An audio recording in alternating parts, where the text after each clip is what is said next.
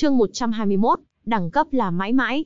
Cát Hải phóng cắp mắt đỏ lười nhìn đối thủ trước mặt, ánh mắt tên kia vẫn bình tĩnh như thế, rộng như biển, sâu như hồ, nhìn không hơi không tiếng, mà lại ẩn giấu một cơn lốc đáng sợ trực chờ nuốt lấy kẻ khác. người nghĩ chỗ này giống như linh lộ sao? Cát Hải nheo mắt gầm gừ với Mục Trần, nghiến răng nghiến lợi trèo trẹo, ngươi hiện tại có đủ tư cách nói chuyện với ta ư? Dựa vào cái gì? Bằng cái thực lực tôm tép linh luân cảnh hậu kỳ đó à? Mục Trần cười nói, muốn xóa cái ám ảnh xưa giờ thì qua đây, bất quá chắc ngươi cũng biết rõ tính cách của ta, thành ra nếu đã quyết tâm thì phải chuẩn bị trả giá đắt. Mặc dù chỗ này không đủ tàn khốc như linh lộ vậy, nhưng mà thật ra nếu ta để ý đến mấy cái quy tắc nhàm chán, thì cũng chẳng thể nào tạo ra chuyện ngày xưa trong linh lộ, phải không nhỉ? Cát Hải hai con ngươi đều co lại, nhìn nụ cười của Mục Trần, mà như thấy lại vẻ hung ác đáng sợ ngày xưa của hắn trong linh lộ, bất giác sự sợ hãi từ đâu đó sâu trong tâm can đang len lỏi bò ra. Ngươi hiện tại không có tư cách nói nhăng nói cuội. Cát Hải lạnh lùng nói tự chấn an mình, hít sâu một hơi áp chế sự sợ hãi lan ra. Hắn biết rõ nếu hôm nay không đánh bại được Mục Trần, thì cả đời vĩnh viễn sẽ ôm cái ám ảnh đó mà sống vật vờ, con đường tu luyện cũng bị ngăn trở. Ông trời đã cho hắn cơ hội xóa đi, thì bây giờ nhất định phải nắm chắc. Lúc này đây, kẻ trả giá sẽ là ngươi, Cát Hải gầm lên dữ tợn, sự hung lệ trong mắt không còn kiềm chế trào ra, linh lực tràn ngập lan tỏa.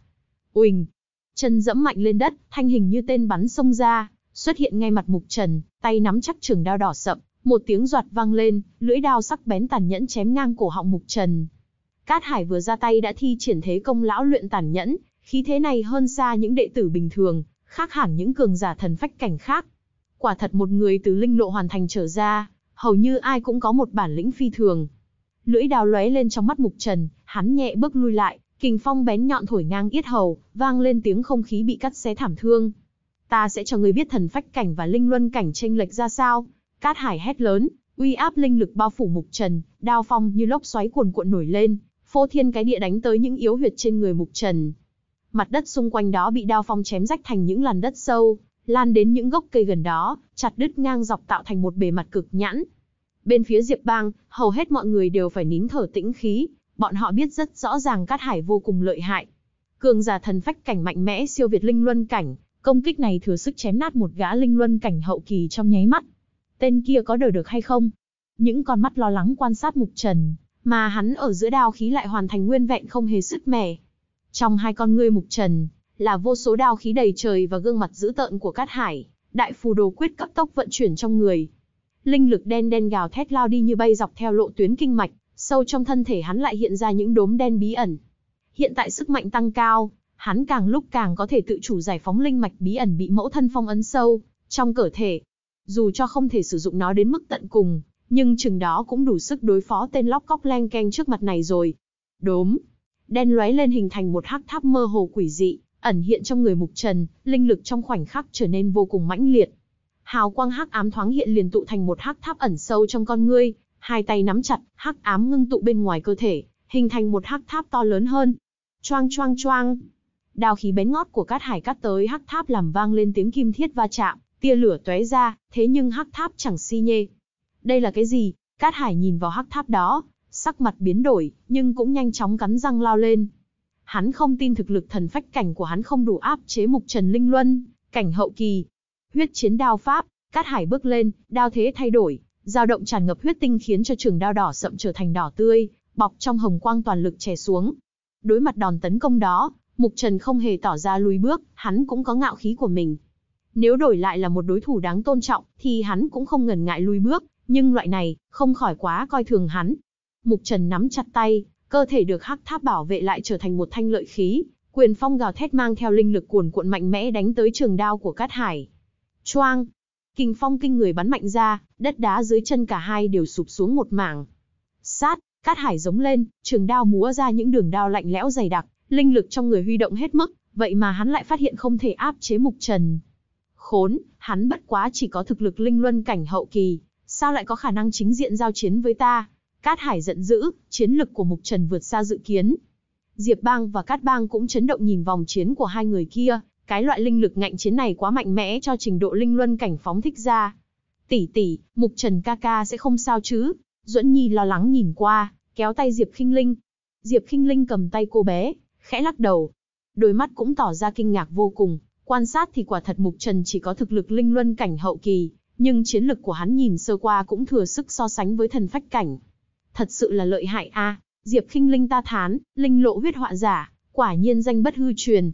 Dù bị đuổi ra khiến cho cấp bậc trình độ hơi thấp, nhưng cái tên yêu tinh kia vẫn không kém thực lực đi chút nào. Người như thế dù có gặp đả kích tương tự lần nữa, hắn cũng có thể thẳng lưng can đảm nhẹ nhàng bước xuống, sau đó lại trở nên mạnh mẽ hơn.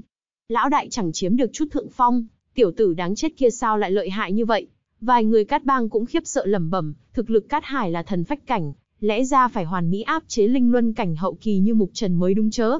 Cát Thanh cũng biến sắc liên tục, Mục Trần có thể một vs 3 đánh bại ba người ngang cấp liên thủ, chiến lực dĩ nhiên phải cao hơn linh luân cảnh hậu kỳ bình thường, thế nhưng cũng không ngờ được tên kia lại mạnh đến mức cả Cát Hải, cũng khó có thể chiến thắng. Choang cheng, linh lực hùng hậu của hai bên trùng kích vào một chỗ, khí lãng bắn ra trực tiếp chấn văng đất đá, bùn đất tung bay đầy trời. Cát Hải mặt mũi dữ tợn, tay nắm chặt đao, khí thế phá sơn chảm xuống, thế nhưng thế công mạnh mẽ sắc bén thừa sức chém một gã linh luân, cảnh hậu kỳ thành hai nửa lại hoàn toàn bị Mục Trần dùng một đấm cường hãn ngăn lại. Nắm tay của hắn có linh lực đen ngòm dao động, bá khí toát ra ngút trời, khiến cho trường đao của Cát Hải cũng không thấy đột phá. Ngươi nhận được linh lộ quán đính cũng chỉ có thực lực thế này thôi sao? Xem ra cái quán đính đó cũng không lợi hại như ta tưởng. Mục Trần cười nhạt. Với thực lực hiện tại thúc giục thêm linh mạch, thần bí đã thừa sức đánh nhau với cường giả thần phách cảnh sơ kỳ. Cát Hải muốn áp chế hắn thì quả thật là tự cao quá rồi. Giờ ta lại nói cho ngươi biết, ngày trước dễ dàng đánh bại ngươi, hôm nay vẫn y như thế dễ dàng không kém.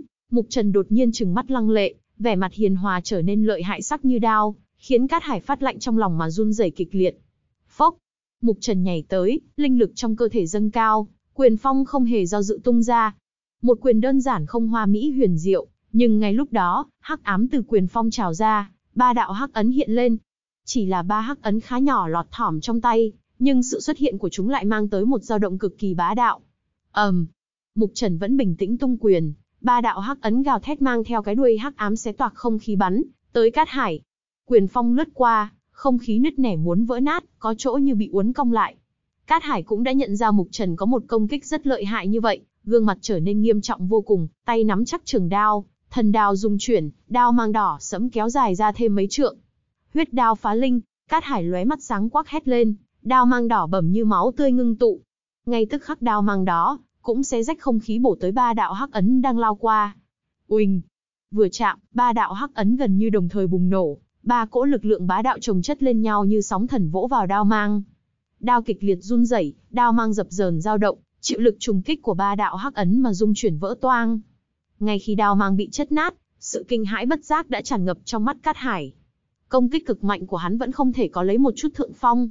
Trường đao đỏ sậm rời tay bay đi, thân thể hắn, như chúng phải đòn nghiêm trọng văng ngược lại nện vào một gốc đại thụ rắn chắc, cổ họng ngòn ngọt, hộc máu. Tại sao? Ta sao có thể bại trong tay hắn? Cát Hải rít gào, mạnh mẽ đứng dậy, muốn dùng linh lực hùng hậu của thần phách cảnh đè chết Mục Trần. Bất quá, ngay khi hắn vừa mới đứng lên, cơ thể lực cứng đơ, vì hắn cảm nhận một luồng linh lực cuồng bạo vô tận đang chút xuống người mình. Những kẻ đứng xem chung quanh cũng hoảng sợ kinh hô. Cát Hải nhìn qua bên kia, hai tay Mục Trần buông thõng, khuôn mặt tuấn tú chẳng hề bận tâm đến đối thủ, mà trên đầu hắn lại có lôi quang lóe lên, hóa thành một lôi trận cực lớn, dao động cuồng bạo đang hướng đến đe dọa khiến Cát Hải hoảng hốt run rẩy. Mục Trần, lại còn là một linh trận sư. Cát Hải cứng người, hoảng sợ đã lan đến đầu óc. Ta đã nói, đối thủ của ta nhiều lắm, nhưng bất quá ngươi chẳng đủ tư cách. Mục Trần hờ hững nhìn ánh mắt hoảng sợ của Cát Hải, bấm tay bắn ra, lôi trận trên đầu rít gào điên cuồng. Một đạo lôi quang rực rỡ như mãng xà phẫn nộ bắn ra, dương nanh múa vuốt. Lôi quang xuyên qua không trung, lôi điện rực rỡ chiếu rọi gương mặt kinh hãi của mọi người. Cát Hải lúc này mới thấu hiểu được, bản thân và kẻ trước mặt có tranh lệch to lớn đến mức nào. Có một loại người, trung quy sẽ luôn khiến kẻ khác phải nhìn lên với tâm trạng, sợ hãi. Chương 122, điều kiện. Lôi quang cắt ngang rừng rậm, dương nanh múa vuốt cuồng dã phá tan mọi thứ, khiến không khí cũng bốc hơi đi mất. Duệt, tốc độ cực nhanh, chỉ nháy mắt đã lao tới Cát Hải, tên kia cũng kinh hoàng sợ chết vô cùng. Mục Trần ra tay căn bản chẳng hề lưu tình, vẫn tàn nhẫn như năm xưa. Cát Hải lúc đó chỉ có thể liều mạng điều động linh lực bảo vệ quanh người, hình thành giáp trụ kiên cố. Dầm, lôi quang cuồng bạo sáng chói kích phá đánh vào người Cát Hải, lôi bạo tràn ngập chói mắt, âm thanh thủng màng nhĩ phá không lan ra. Véo, cơ thể Cát Hải như bị bông bị đánh bay đi, những nhánh cây nhô ra trên đường bay đều bị cơ thể đó chấn gãy, Hắn đau đớn hộc máu như mưa. Phá nát hơn 10 nhánh cây ta, rốt cuộc thân thể tàn tạ của Cát Hải cũng chạm được mặt đất, máu me đầy người, thê thảm vô cùng, bộ dáng chẳng còn chút hung lệ nào như trước nữa. Cát bang im ắng lặng ngắt như tờ, cả đám đầy mồ hôi mà lạnh run, hoàn toàn ngậm miệng chẳng dám hé răng nửa lời. Cát Thanh lại càng run rẩy kịch liệt hơn nữa trước biến cố vừa diễn ra.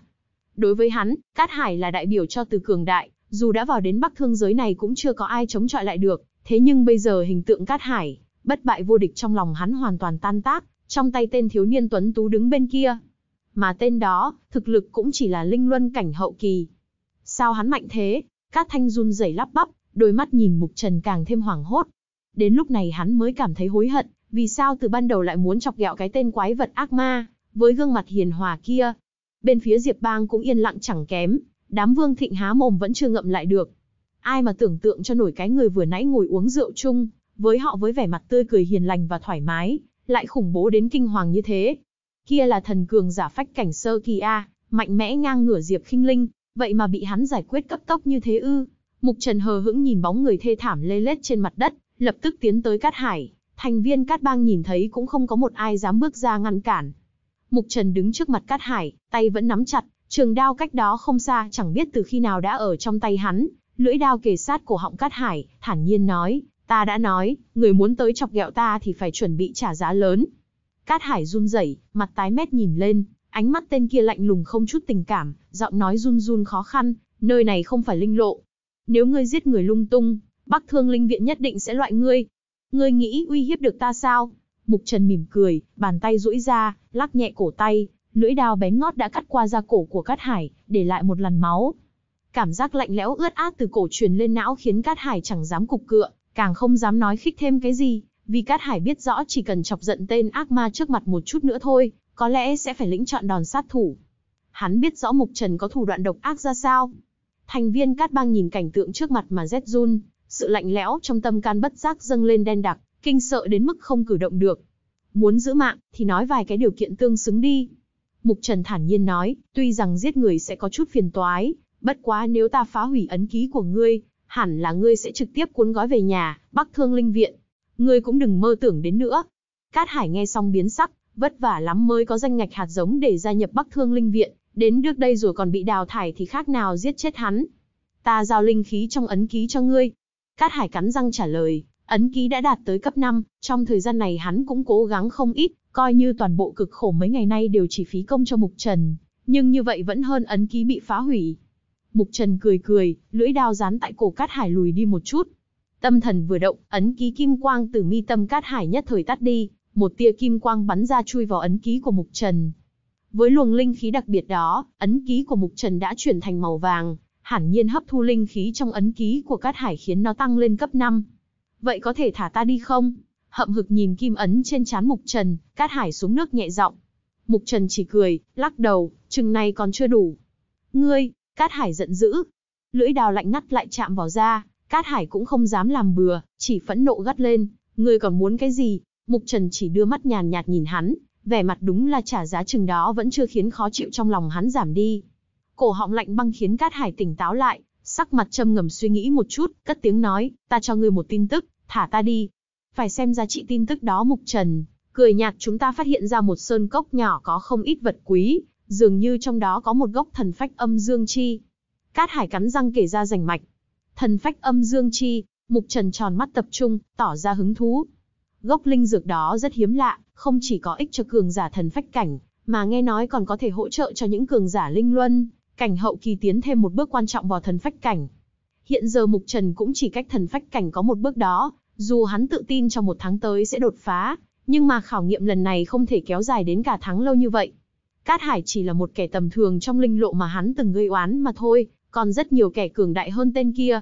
Mục Trần chắc chắn, trong bắc thương giới này sẽ phải hội ngộ không ít những gương mặt quen thuộc. Do vậy, việc mau chóng tăng thực lực lên cảnh giới thần phách cảnh cũng rất quan trọng, khiến hắn an tâm đủ sức đối đầu mấy kẻ thực lực cường hãn kia. Thần phách âm dương chi, quả là một hấp dẫn chí mạng. Bất quá, hắn không thể nào tin hoàn toàn vào Cát Hải, cười nói, có bảo vật chân quý như thế, sao ngươi không ra tay mà còn để đến bây giờ? Ở đó có ba con linh thú cao cấp chấn giữ, thực lực không yếu hơn ta, một mình ta không thể động vào. Cát Hải tỏ ra không cam lòng, bản thân phải trả giá không ít mới phát hiện được sơn cốc, vậy mà ba con linh thú cao cấp kia lại án ngữ ngoài cốc không vào được. Bạn đang đọc chuyện được copy tại chỗ nào? Mục Trần nhíu mày hỏi. Cát Hải nhanh chóng nói ra địa điểm, Mục Trần nghe thấy, suy nghĩ một lát rồi vẫy tay gọi Diệp Khinh Linh, nàng ta giật mình nghi hoặc bước tới. Mục Trần thuật lại những gì Cát Hải vừa nói với Diệp Khinh Linh. Vị trí này có đúng không? Mục Trần dò hỏi, Diệp Khinh Linh chắc chắn biết nhiều tin tức hơn hắn, nên nhờ nàng cố vấn dĩ nhiên là chủ ý không tồi. Phía tây bắc, Diệp Khinh Linh trầm ngâm một chút, gõ gõ chán gật đầu, phía bên đó rất bí ẩn, trước kia đúng là Cát Bang từ bên phía đó chạy sang, nhưng mà về phần có thần, phách âm dương chi hay không thì ta không rõ, không dám khẳng định. Mục Trần nhẹ nhàng gật đầu, liếc nhìn Cát Hải. Tuy cũng chưa rõ tên kia có ý gì, bất quá tin tức này cũng có vài độ chính xác. Mục Trần thu đao, ném lại cho Cát Hải, cười nói, lần này bỏ qua cho ngươi đi, bất quá nếu dám gạt ta, tin chắc ngươi chạy không thoát đâu. Nhìn cái nụ cười hiền hòa mà đanh ác của Mục Trần, Cát Hải run rẩy như cầy sấy, chẳng dám nói lại tiếng nào, chật vật bò dậy, vung tay kéo đám thành viên Cát Bang nhanh chóng chạy như vịt. Ngươi muốn đi đến chỗ đó? Diệp Khinh Linh nhìn đám người Cát Bang lúc này đã như cái bang khổ sở bại lui, mi cong nhíu lại hỏi Mục Trần, ta vẫn cảm thấy tên Cát Hải kia không có chút lòng nào tốt. Cứ kệ hắn, chỉ cần tin tức này đúng là được. Mục Trần cười, nói, sao? Có hứng thú đi chung không? Nơi đó có lẽ cũng chứa không ít bảo vật, đối với Diệp Bang cũng có nhiều lợi ích. Đại nhân vật của Linh Lộ mà cũng cần ta hỗ trợ sao? Diệp Kinh Linh cười khúc khích. Cái gì mà đại nhân vật? Mục Trần méo miệng cười cái chỗ đó đâu phải ngươi không biết, nguy cơ tứ bề, mình không ăn thịt người át phải bị kẻ khác ăn thịt mình. Diệp Kinh Linh cũng khẽ thở dài, hơi nghiêng đầu đưa mắt tò mò nhìn Mục Trần, nói, muốn chúng ta hỗ trợ cũng được, bất quá phải trả lời ta một chuyện. Chuyện gì? Ngươi và Lạc Vương Lạc Ly có quan hệ gì? Diệp Kinh Linh hứng thú hỏi. Lạc Vương? Đó là danh hiệu sau khi nàng được đánh giá cấp vương sao? Mục Trần nghe mà thấy buồn cười, tưởng tượng gương mặt bất đắc dĩ của nàng khi bị người ta gọi như thế. Ta và nàng là đồng đội, cùng một tổ đội. Mục Trần cười cười trả lời. Chỉ là đồng đội thôi sao? Diệp Kinh Linh cười khanh khách, nói, ngươi có biết sau khi ngươi rời khỏi linh lộ nàng làm ra cái chuyện gì không? Chuyện chi? Mục Trần miệng cười hơi giảm, nhíu mày. Cuối linh lộ, chư vương đoạt linh quan, nàng ra tay với huyền vương cơ huyền. Diệp Kinh Linh bất chợt tỏ ra hào hứng, hai mắt nóng rực như đang nhìn lại tràng cảnh kinh thiên năm xưa, dành mạch kể lại từng chi tiết cho Mục Trần. Song vương giao phong, Lạc Vương trả giá trọng thương mà đánh lui huyền vương, khiến hắn mất đi cơ hội cướp linh quan. Rồi nàng nói với huyền vương, mạng của hắn, nàng sẽ không lấy, vì sớm muộn có ngày chính ngươi sẽ tự mình ra tay. Mục Trần trầm mặc, ngẩng lên hít một hơi, sát khí mãnh liệt đột ngột chuyển động trong hai mắt. Cơ huyền, ngươi dám đả thương nàng, vậy thì mạng ngươi ta đã quyết lấy đi rồi, linh lộ vẫn chưa đánh xong, thế thì chúng ta đến ngũ đại viện hoàn thành triệt để trận chiến đó đi. Chương 123, đoạt bảo. Trong rừng rậm, một đám đông đang chật vật bỏ chạy, dẫn đầu là Cát Hải mặt mũi máu me tung tóe, vết sẹo trên mặt co giật nhìn cực kỳ xấu xí và dữ tợn kinh khủng. Mấy người đi bên cạnh nhìn mà dùng mình không thôi. Đại ca, Cát Thanh cẩn thận khẽ gọi một tiếng, chúng ta dễ dàng cho bọn hắn cái tin tức kia như vậy sao? Nếu lỡ như Mục Trần đoạt được thần phách âm dương chi, thực lực lại tăng lên, đến lúc đó. Hắn nói còn chưa nói hết, đôi mắt đỏ lạnh lùng của Cát Hải đã phóng tới, khiến cho hắn run rẩy ngậm miệng, len lén liếc nhìn đại ca của hắn. Cát Hải chậm rãi nhìn ra phía sau lưng, đôi mắt vẫn giữ tợn như trước, nghiến răng nói muốn đoạt được thần phách âm dương chi, nào có dễ dàng như vậy. Ngươi thật cho rằng ta không ra tay đoạt bảo vì e ngại ba con súc sinh kia sao? Bọn nó tuy có thực lực lợi hại, nhưng linh trí ngu đần, biện pháp thu phục chúng nó thì thiếu gì. Bất quá, loại kỳ bảo như thần phách âm dương chi, không lẽ chỉ có chúng ta mới phát hiện ra hay sao? Còn có kẻ khác, cát thanh cả kinh. Hừ, hai đám người kia cũng chẳng kẻ nào lương thiện, luôn chăm chú quan sát thần phách âm dương chi, bất quá vì còn e ngại nhau nên chưa bên nào dám ra tay trước, nếu Mục Trần dám đi, chắc chắn ba con hổ tranh nhau không chết cũng bị thương. Cát Hải điểm nhiên nói, hai đám người kia, mặc dù thủ lĩnh của bọn nó không có tham gia linh lộ, nhưng hai tên đó ra cảnh bất phàm, nhờ có tài nguyên gia tộc mà thực lực không hề kém so với ta. Mục Trần dám đi cướp món ăn trong miệng bọn họ, vậy thì xem có đủ bản lĩnh không đã. Đến lúc đó chúng ta lại âm thầm ẩn nấp, tìm cơ hội giải quyết hết toàn bộ, đoạt lấy thần phách âm dương chi vào tay mình, lúc đó thực lực của ta lại tăng tiến mạnh lên thần phách cảnh trung kỳ. Với sức mạnh đó trong bắc thương giới này sẽ không có quá nhiều đối thủ. Cát Thanh nghe rõ đầu đuôi liền mừng rỡ cười lớn, vẫn là đại ca sáng suốt, tiểu tử kia muốn kiếm lợi trong ta đại ca, không ngờ bị đại ca tính kế. Cát Hải chỉ cười lạnh, bất quá trong trí não cũng hiện lên nét cười khẽ trên gương mặt tuấn tú của tên kia, trái tim như muốn đóng băng. Hắn vội cắn môi để tỉnh tinh thần, đè cảm giác sợ hãi kia xuống. Mặt khác, các ngươi phao tin ra ngoài cho ta, bảo rằng linh lộ huyết họa giả Mục Trần đã tới Bắc Thương Giới. Cát Hải lạnh lùng gần từng tiếng. Tên kia trong linh lộ chúc oán với nhiều kẻ lợi hại, chắc hẳn Bắc Thương Giới lúc này bọn chúng cũng lọt vào không ít, khẳng định khi bọn họ nghe được cái tin này, khà khà, Mục Trần cũng có thể hiểu bị chơi đùa là như thế nào. Dạ, Diệp Bang, doanh trại vô cùng náo nhiệt, mọi người vẫn còn đang chìm đắm bàn tán trận chiến khi nãy, một mực nhìn về Mục Trần với ánh mắt kính sợ và tò mò. Ai mà ngờ được tên kia vẻ ngoài khá bình thường, luôn mỉm cười ôn hòa nhã nhặn lại là người đáng sợ đến mức đó, đánh cho cường giả như cát hải thê thảm lê lết, quay đầu chạy bán sống bán chết. Mục Trần ca ca, ngươi thật lợi hại, Duẫn Nhi không chút che giấu sự sùng bái của mình, đôi mắt xinh tươi trong sáng nhìn mãi không rời Mục Trần. Cô bé thật ra không có hiểu mấy về cái chữ lợi hại là thế nào, chỉ đơn thuần lúc nãy thấy hắn biểu hiện rất xuất sắc. Mục Trần cười túm lấy hai đuôi tóc ngoe nguẩy đáng yêu của Duẫn Nhi, lúc này Diệp Bang đã thu dọn doanh trại, chuẩn bị hành quân về phương hướng mà trước đó Cát Hải chỉ. Chúng ta sau khi đến gần khu vực đó thì để phần lớn mọi người nghỉ ngơi, chỉ nên dẫn theo vài người có thực lực cao một chút đi thăm dò trước. Diệp Kinh Linh bàn bạc với Mục Trần. Mục Trần gật đầu, loại chuyện thế này đông người chưa hẳn là tốt, mà còn dễ đánh rắn động cỏ. Thần phách âm dương chi khá quý hiếm, Cát Hải có thể phát hiện ra thì không chừng người khác cũng thừa sức tìm thấy, nên hành động cẩn thận một chút. Mục Trần phân tích, lưu manh như hắn dĩ nhiên không thể nào khờ dại cho rằng tên Cát Hải vì quá sợ hãi, mà thành thật với hắn, vốn dĩ làm việc gì cũng cần phải cẩn thận. Diệp Kinh Linh khẽ gật. Bất quá dù sao chúng ta cũng có một vũ khí bí mật. Mục Trần đột nhiên cười, vuốt ve mái tóc hai đuôi của Duẫn Nhi. Cô bé này cũng là linh trận sư cấp 2, lại còn có được trạng thái tâm trận. Thật ra nếu so chiến lực tổng thể bộc phát hoàn toàn, có lẽ cả Diệp Kinh Linh cũng phải chịu kém Duẫn Nhi, chẳng qua nha đầu kia kinh nghiệm chiến đấu quá kém, dễ bị kích động khi đối địch. Linh trận sư lâm trận đối chiến với người khác mà bị khích tướng, thì căn bản đã bị phế mất một nửa năng lực.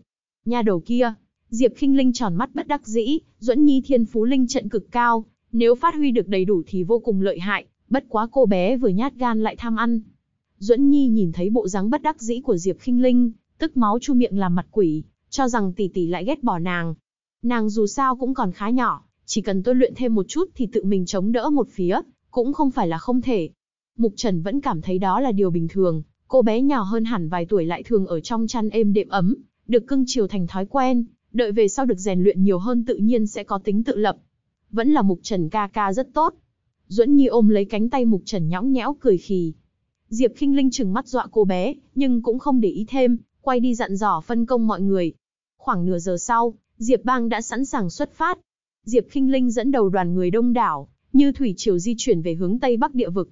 Một số lượng người đông đúc như vậy cùng di chuyển, hẳn nhiên sẽ khiến cho nhiều con mắt chú ý, bất quá Diệp Bang cũng có danh tiếng không nhỏ, những người kia thấy họ cũng không dám có tâm tư gì lớn, thành ra suốt đường đi, chỉ gặp một số linh thú cản đường đều bị họ nhanh tay giải quyết, còn những chuyện khác lại khá thuận buồm xuôi gió. Cứ bình lặng di chuyển như thế, đến gần trạng vạng tối, đại đội mới dần giảm tốc độ dừng lại. Rừng rậm bất chợt bị cắt bởi tầng tầng lớp lớp núi non trùng điểm lên nhau, vách núi hiểm trở chỉ lên tận trời mây, đủ loại tiếng giống, gào, kêu, hú vang vọng trong các hẻm núi. Theo như Cát Hải mô tả, có lẽ là ở đây. Diệp Kinh Linh nhìn về dãy núi trùng điệp, quay sang thông báo với Mục Trần. Chọn ra vài người chuẩn bị vào núi đi. Mục Trần khẽ gật đầu, khu vực này có vẻ bí ẩn, nếu không cố ý tìm kiếm, thì không có chuyện vô tình nhìn thấy những sơn cốc lẩn khuất đâu đó. Diệp Kinh Linh chỉ ra vài người trong số tinh anh Diệp Bang, có khoảng 20 người được chọn, đa số đều có thực lực linh luân cảnh trung kỳ, còn có Vương Thịnh và vài người nữa có thực lực linh luân cảnh hậu kỳ. Mặc lĩnh, ngươi cứ cùng với bọn họ chờ bọn ta quay về. Mục Trần dặn dò mặc lĩnh, tên kia chỉ đành gật đầu, thực lực bản thân ở chỗ này cũng chẳng là gì, chứ đừng nói là nổi bật. Cố mà đi theo đôi khi chỉ vướng chân chứ đừng nói là không giúp được nhiều. Đi, Mục. Trần thấy mọi sự đã an bài thỏa đáng, không kéo dài thời gian nữa mà dẫn đầu lao đi vào vùng núi lớn. Diệp Kinh Linh dẫn theo Duẫn Nhi, Vương Thịnh và Tinh Anh Diệp Băng đuổi theo. Trong núi có không ít linh thú, thế nhưng mục tiêu của Mục Trần vẫn chưa nhìn thấy đâu, thành ra không làm phiền bọn linh thú khó chơi đó, chỉ đi theo những đường vòng tránh né tiến sâu vào núi. Một đường chạy đi chừng 10 phút, sau đó cả bọn ngừng lại trên một sườn núi, đưa mắt nhìn về trước, có một cái khe ở giữa ba ngọn núi hợp vây vừa vặn hình thành một sơn cốc, xung quanh toàn là vách đá dựng đứng, đại thụ chọc trời, tạo thành một bức tường tự nhiên vững chắc che lấp cả sơn cốc. Mục Trần đặt chân trên triển núi, nhìn vào sơn cốc, hắn mơ hồ cảm thấy ba cỗ khí tức hung ác bên đó. Khí tức này đúng là của linh thú cao cấp, thực lực ngang ngửa cường giả thần phách cảnh sơ kỳ. Ba con linh thú thần phách cảnh sơ kỳ. Mục Trần nhìn qua thông báo cho mấy người Diệp Kinh Linh. Diệp Kinh Linh sắc mặt bình thường, nhưng bọn người như Vương Thịnh thì tim đập liên hồi. Xưa nay chưa bao giờ dám đối đầu linh thú cao cấp, chứ đừng nói liệp sát một lúc cả ba con. Ba con linh thú này phải giải quyết nhanh gọn, tránh đại chiến tạo động tĩnh quá lớn mà hấp dẫn linh thú khác, hoặc thế lực khác tìm đến đây. Mục Trần chậm rãi nói. Muốn nhanh cũng không nhanh được, đám người chúng ta chỉ có Mục Ca, và Diệp Tỷ đủ khả năng đơn chiến đối phó linh thú cao cấp thôi. Vương Thịnh nhăn nhó. Mục Trần thì mỉm cười, ba con linh thú này để ta đối phó, các ngươi chú ý những động tĩnh khác. Nghe hắn nói thế, cả Vương Thịnh lẫn Diệp Kinh Linh cũng biến sắc. Mục Trần muốn dùng sức một mình đối phó ba con linh thú thần phách cảnh sơ kỳ. Khó khăn hơn đánh nhau với Cát Hải nhiều lắm a. Đừng lo, ta cũng không định đưa mặt đánh lộn với chúng nó đâu. Mục Trần mỉm cười, Duẫn Nhi không phải đã nói rồi sao, ta cũng là linh trận sư. Diệp Kinh Linh tròn mắt. Đúng là Duẫn Nhi có nói, bất quá mấy ai để ý kia chứ, nhưng mà cho dù hắn là linh trận, sư cũng làm sao đủ sức đối phó một lúc ba con linh thú cao cấp. Trừ phi hắn có linh trận cấp 2 cực mạnh nào đó mà có thể bố trí thành công. Mười đầu ngón tay của Mục Trần đã bắt đầu có hào quang lóe ra, hình thành từng đạo linh ấn nho nhỏ. Có đến 30 đạo linh ấn, Diệp Kinh Linh môi mỏng run run lắp bắp. 30 linh ấn. Người này đúng là linh trận sư cấp 2. Mục Trần chậm rãi nhắm mắt, dùng ngón tay vẽ nên những đường cong ngoằn nghèo khó hiểu. 30 linh ấn nhanh chóng lần lượt dung hòa vào không khí, biến mất đâu đó không thấy, rồi một cỗ linh lực dao động kinh hoàng tản mắt ra. Duẫn Nhi bên cạnh cũng sắc mặt biến ảo kỳ dị, đôi mắt rung rinh nhìn Mục Trần, giọng nói giòn tan, Mục Trần ca ca cũng có thể tiến vào trạng thái tâm trận a. Diệp Kinh Linh lại tiếp tục chấn động. Trạng thái tâm trận là tỷ tỷ của Duẫn Nhi, nàng dĩ nhiên biết rõ trạng thái này đối với linh trận sư lợi hại ra sao. Thật không ngờ Mục Trần không chỉ là linh trận sư cấp 2, còn nắm giữ được trạng thái huyền diệu đó giống hệt Duẫn Nhi. Không hổ là người có tư cách được đánh giá cấp vương của linh lộ A. Diệp Kinh Linh thở dài, dù cho hắn nửa đường bị gạt ra ngoài, nhưng vẫn chẳng hề tầm thường chút nào. Mục Trần thì chẳng có thời gian để ý đến vẻ kinh ngạc của mấy người xung quanh, vì lúc này một linh trận vàng chóe to đùng đang chậm rãi hiện ra trước mặt, dao động khiến không khí xung quanh uốn éo muốn vỡ. Chương 124, Kim luận liệt trận. Trận đồ kim sắc chậm rãi lan tỏa hiện ra trước mặt Mục Trần, những sợi linh lực quang phức tạp đan xen vẽ nên một linh trận, toát ra dao động cuồng bạo. Diệp Khinh Linh không phải là linh trận sư, nhìn vào dĩ nhiên như nông dân đi đúc kiếm, thế nhưng trận đồ quái đản trong mắt người thường thì Duẫn Nhi lại nhìn hiểu rõ ràng. Đôi mắt nhắm chặt của Mục Trần cũng dần dần mở ra, ngẩng lên nhìn trận pháp kim sắc to lớn trước mặt, thần sắc cũng tỏ ra nghiêm trọng. Đây chính là lần đầu tiên hắn chân chính dùng sức mạnh bản thân, để bố trí thành công một linh trận cấp 2. Mà trận đồ này chính là thứ phụ thân hắn, Mục Phong vất vả cày ải tìm kiếm khắp Bắc Linh, cảnh để mua tặng hắn trước khi lên đường.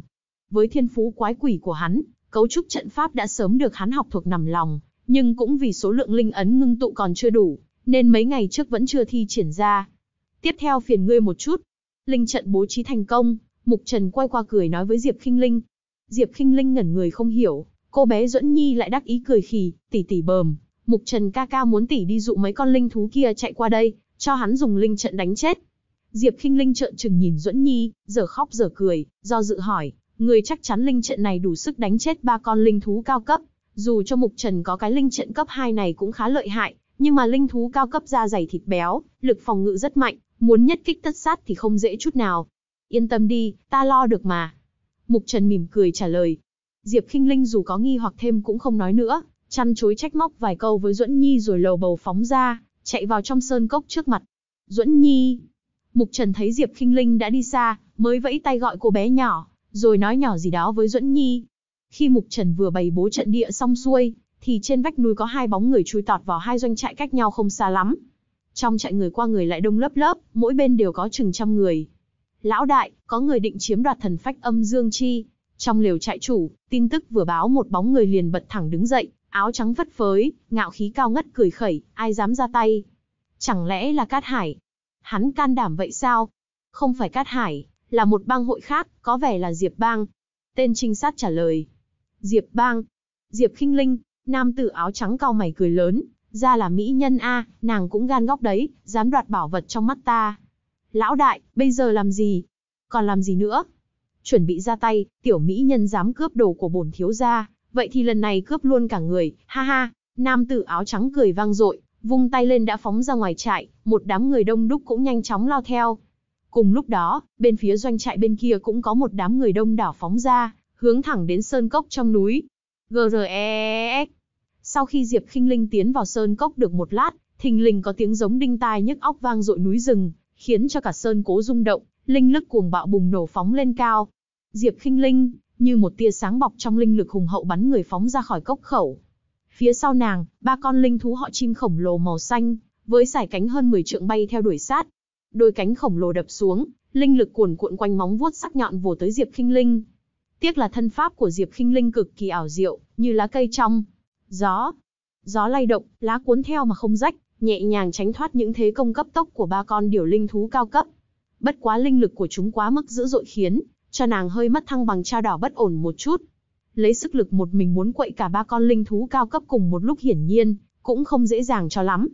Diệp Kinh Linh dẫn ba con điểu linh thú cao cấp chạy thẳng đến chỗ Mục Trần mai phục, hắn cũng đang gắt gao nhìn chằm chằm vào ba con mồi đang phóng tới, gương mặt càng lúc càng thêm nghiêm túc. Kim trận chậm rãi chuyển động, linh lực kim sắc tràn ngập, kim quang càng lúc càng sáng, như được làm bằng vàng. Chuẩn bị tiếp ứng. Mục Trần khẽ nhắc đám người Vương Thịnh. Vâng, Vương Thịnh lập tức đáp lời, linh lực trong người bắt đầu vận chuyển, vẫn tập trung quan sát ba con phi điểu giang cánh tấn công Diệp Khinh Linh, đợi đến khi nàng dụ chúng đến phạm vi công kích, thình linh cả bọn đồng loạt bùng nổ, vô số công kích liên miên bất tận bao trùm trời đất đánh tới ba con phi điểu. Đùng đùng, rất nhiều công kích trúng đích, tia lửa lóe lên chóa mắt, thân hình ba con linh thú cao cấp như kim thiết, chẳng hề tạo ra mấy thương tổn cho nó, bất quá lại đủ sức khiến cho chúng nó bị khựng lại một lát. Diệp Khinh Linh lợi dụng khoảnh khắc ngắn ngủi đó, lập tức thoát khỏi thế công vây sát của linh thú, nhanh chóng chạy về trên núi, thở hổn hển bảo Mục Trần, tới phiên ngươi. Mục Trần gật đầu cười, con ngươi lợi hại khóa chặt vào ba linh thú đang lao tới. Hai tay hắn khép lại, kim trận sau lưng bộc phát kim quang chói mắt, linh lực cuồng bạo tuôn ra. GREX. Ba con điểu linh thú cao cấp dường như cũng phát hiện ra dao động nguy hiểm, tốc độ bay tới cũng chậm lại, ré lên dữ tợn, linh lực hùng hậu ngập tràn cơ thể. Kim luận liệt trận, Mục Trần quát lên, kim quang mãnh liệt như mặt trời rực sáng từ trong kim trận bạo liệt bắn ra, ngưng tụ thành một trụ ánh sáng hoàng kim to hơn 10 trượng bắn ra. Vù, trụ sáng bắn ra, lại hóa thành một vòng tròn kim sắc đầy răng cưa, điên cuống xoáy gấp, phát ra những âm thanh lạnh ra đầu như tiếng cưa sắt cắt vào gỗ, đang xé toang không trung. Đi, Mục Trần búng ngón tay nhẹ nhàng, quang luân bắn tới như tia chớp xé rách thiên không công kích ba con linh thú cao cấp. Kim luân bắn tới, ba con chim lông lá đều dựng lên hoảng kinh, hẳn nhiên sự đe dọa kinh khủng từ kim luân kia khiến chúng cảm thấy nguy hiểm chí mạng. Chỉ thoáng chần chờ một giây, chúng nó liền quay đầu gấp gáp đập cánh bay đi trốn. Linh thú cao cấp đã có được một chút linh trí, biết phân nặng nhẹ may rủi. Chúng nó biết rõ nếu để cho kim luân đáng sợ kia chạm phải, át phải thịt nát xương tan. Còn muốn chạy, Mục Trần cười nhạt, tiêu phí công phu to lớn bố trí linh trận cấp 2, mà để cho bọn kia chạy mất thì chẳng phải bỏ công vô ích sao. Tâm thần điều khiển kim luân tăng tốc, như tia sét phá không, đùng một tiếng lập tức theo sát một con chim, rồi mạnh mẽ đánh trúng lưng nó. Duệt, re. Kim Luân xoay tròn với tốc độ cực cao mang theo lực sát thương kinh hoàng, đối diện linh thú cao cấp có lực sát thương khủng bố, cũng dễ dàng xé nát tầng phòng ngự da thịt, xuyên qua cơ thể nó bay ra ngoài. Máu tươi tung tóe ngập trời. Trong tiếng ré thảm thương và tiếng Kim Luân xoáy tròn, điểu linh thú cao cấp đầu tiên từ không trung dụng xuống như sung. Kim Luân cấp tốc giải quyết gọn ghẽ một con điểu linh thú, nhưng thế công không giảm, lập tức bắn theo con thứ hai, con thứ ba, đều dễ dàng đột kích xuyên thủng cơ thể chúng nó. Máu tươi, đỏ thẫm hóa thành đám xương vương vãi không trung, như một đám mây máu lững lờ từ từ hạ xuống đất. Kim Luân sau khi liên tiếp xuyên thủng cả ba linh thú mới dần dần tiêu tán, sau khi hao phí hết linh lực. Mục Trần nhìn chằm chằm vào đám mây máu ngập trời kia, hắn có thể cảm giác rõ hai con linh thú cao cấp sau không chết ngay tức khắc, như con đầu, dù sao Kim Luân ở lần miểu sát thứ nhất tốn hao lượng linh lực cũng khá nhiều. GGEX. Trong đám mây máu, tiếng ré hung lệ vang lên, hai con điểu linh thú cao cấp dũng mãnh lao ra, cặp mắt đỏ ngầu tập trung vào Mục Trần, hai cánh đập vỗ liên hồi lao tới thẳng tắp. Cẩn thận, Diệp Khinh Linh giật mình định ra tay. Thế nhưng Mục Trần chẳng hề quay đầu bỏ chạy, chỉ cười gần nguy hiểm, dãy chết thôi mà. Hai tay hắn nắm chặt, bàn tay lại hình thành rất nhiều linh ấn dung hòa vào không khí, lôi quang như điện ngưng tụ, lấy tốc độ chớp giật hình thành một linh trận nữa. Cửu Thiên Lôi trận, đùng. Sấm sét cuồng bạo như rắn điện gào thét tuôn ra, hung hăng đện lên đầu hai con linh thú cao cấp đã trọng thương điên cuồng trả thù. Uỳnh. Hai linh thú chúng phải công kích nghiêm trọng, máu tươi lại bắn tung tóe, thậm chí một con nổ tung đầu, Trong tiếng rít gào phẫn nộ không cam lòng rơi thẳng xuống đất, nhuộm đỏ nền đá núi. Diệp Kinh Linh, Vương Thịnh và đám người Diệp Bang nhìn Mục Trần, nhanh chóng tạo thành linh trận thứ hai liên tiếp nghênh địch, cũng run rẩy chấn động, quả thật tốc độ quá kinh hoàng. Nếu Duẫn Nhi có thể bày linh trận nhanh như vậy thì tốt biết mấy. Diệp Kinh Linh bất giác nghĩ tới Duẫn Nhi. Mục Trần bố trí linh trận căn bản chẳng bị dao động ngoại giới ảnh hưởng chút nào. Sợ hãi, bối rối, lo lắng, tất cả đều bị hắn ngăn cách hoàn toàn. Còn Duẫn Nhi thì ngược lại, chỉ cần một cái giật mình là bố trí linh trận không nổi. Thật chẳng biết nàng cần, đến bao nhiêu thời gian tôi luyện mới đạt được trình độ lâm nguy bất loạn, ngộ biến bất kinh như Mục Trần đây. Tinh phách linh thú các ngươi mau thu lấy rồi theo ta nhanh. Mục Trần nhanh chóng giải quyết gọn ba con linh thú, chỉ khẽ nói gấp một câu, thân hình vừa động liền nhảy tới cốc khẩu, chỉ vài giây đã mất hút trong sơn cốc. Sơn cốc xanh um, linh khí nồng đậm, mọc đầy đủ các loại linh thụ linh quả chân quý. Quả nhiên chỗ này là cái bảo tàng như Cát Hải mô tả. Mục Trần chỉ tùy ý đảo mắt nhìn qua, rồi tập trung lao tiếp vào sâu trong cốc, mấy gốc linh thụ và đám linh quả này cũng tốt, bất quá thứ hắn muốn tìm còn chân quý hơn nữa kia. Mục Trần bước nhanh rồi cũng dừng lại, đôi mắt nhìn chằm chằm vào một vị trí trên vách đó, hào quang ngưng tụ xanh biếc. Hắn nheo mắt tập trung vào luồng sáng xanh trên đó. Bên trong hào quang là một gốc linh chi chừng một xích, nhìn thoáng qua như được mài rũa từ ngọc bích tạo thành, trong suốt mà sáng loáng, linh lực hãi người đang chậm chậm toát ra. Đôi mắt Mục Trần tỏ ra cực kỳ nóng cháy. Thần phách âm dương chi. Chương 125, thần phách âm dương chi. Hào quang xanh biếc tràn ngập sức sống, bao bọc gốc linh chi như ngọc bích, mùi hương mê người phát tán ra, khiến người ta chỉ nhìn mà đã thèm thuồng không dứt. Đó là thần phách âm dương chi ư? Sau lưng vang lên tiếng nói êm tai của Diệp Khinh Linh, nàng ta đã dẫn theo nhân thủ Diệp Bang cùng chạy tới, nhìn lên vách núi thấy gốc linh chi đó mà trầm trồ kinh thán. Mục Trần mỉm cười gật đầu, nói với Diệp Kinh Linh, gốc thần phách âm dương chi này ta sẽ thu lấy, xem như thiếu các vị một món ân tình, được chứ? Tin tức này là do ngươi đánh thắng người ta mà có, ba con linh thú ngoài kia cũng ngươi giải quyết, thứ này vốn là thuộc về ngươi rồi, sao còn nói cái gì ân tình? Diệp Kinh Linh mỉm cười, bất quá trong cốc còn không ít bảo vật, tuy so ra kém thần phách âm dương chi nhưng cũng là những linh dược rất tốt, đối với chúng ta vẫn rất ích lợi cho tu luyện. Cứ tiện tay hái đi. Mục Trần cười. Vậy đa tạ Diệp Khinh Linh khẽ cười đáp lại, dẫn theo người Diệp băng tản ra xung quanh thu hoạch linh dược. Mục Trần phóng người nhảy lên vách đá chỗ thần phách âm dương chi, bàn tay được linh lực bọc lấy chụp vào vách núi, xuyên thủng lớp đá cứng, đào gốc linh chi kia lên. Ngay lúc thần phách âm dương chi bị Mục Trần đào lên, một tia hào quang xanh biếc chui ra bắn vào ấn ký trên mi tâm hắn, khiến cho kim quang càng lúc càng đậm, có vẻ như muốn đổi màu, rất có thể nó đã có dấu hiệu tăng lên cấp 6. Cảm giác biến hóa kỳ diệu trong ấn ký, hai mắt Mục Trần Long lên kinh ngạc. Đào bảo vật thế này để tăng cấp ấn ký cũng là một biện pháp tuyệt vời, chỉ tiếc là không mấy khi may mắn tìm gặp được loại kỳ chân dị bảo như thần phách âm dương chi này. Mục Trần cúi đầu nhìn khối đá có linh chi cắm dễ nằm trong tay, lúc này nhìn nó gần sát mới thấy được vẻ lộng lẫy của thứ bảo vật vô cùng chân quý này. Xanh biếc mà trong suốt sáng loáng, vẻ đẹp đó, còn hàm chứa bên trong tia linh lực tinh khiết dập dờn tỏa ra dao động hùng hồn. Mũi người được mùi hương mê người, linh lực trong cơ thể cũng động đậy dục dịch, cảm giác kỳ lạ lan tỏa trong lòng. Đó chính là cảm giác đột phá.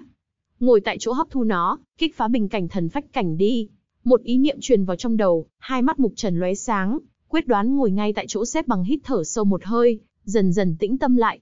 Tâm tính tĩnh lặng, hai bàn tay trùm lấy thần phách âm dương chi, linh lực trong người trào ra. Bụp, phiến đá bọc quanh rễ của gốc thần phách âm dương chi hóa thành bột phấn, những phiến lá to mập mạp của linh chi cũng bị vỡ vụn tan nát. Chất lỏng xanh biếc mang theo linh lực cực kỳ kinh khủng trào ra, bất chợt không gian trong cốc trở nên mịt mờ, mùi hương mê mẩn khuếch tán ra xung quanh.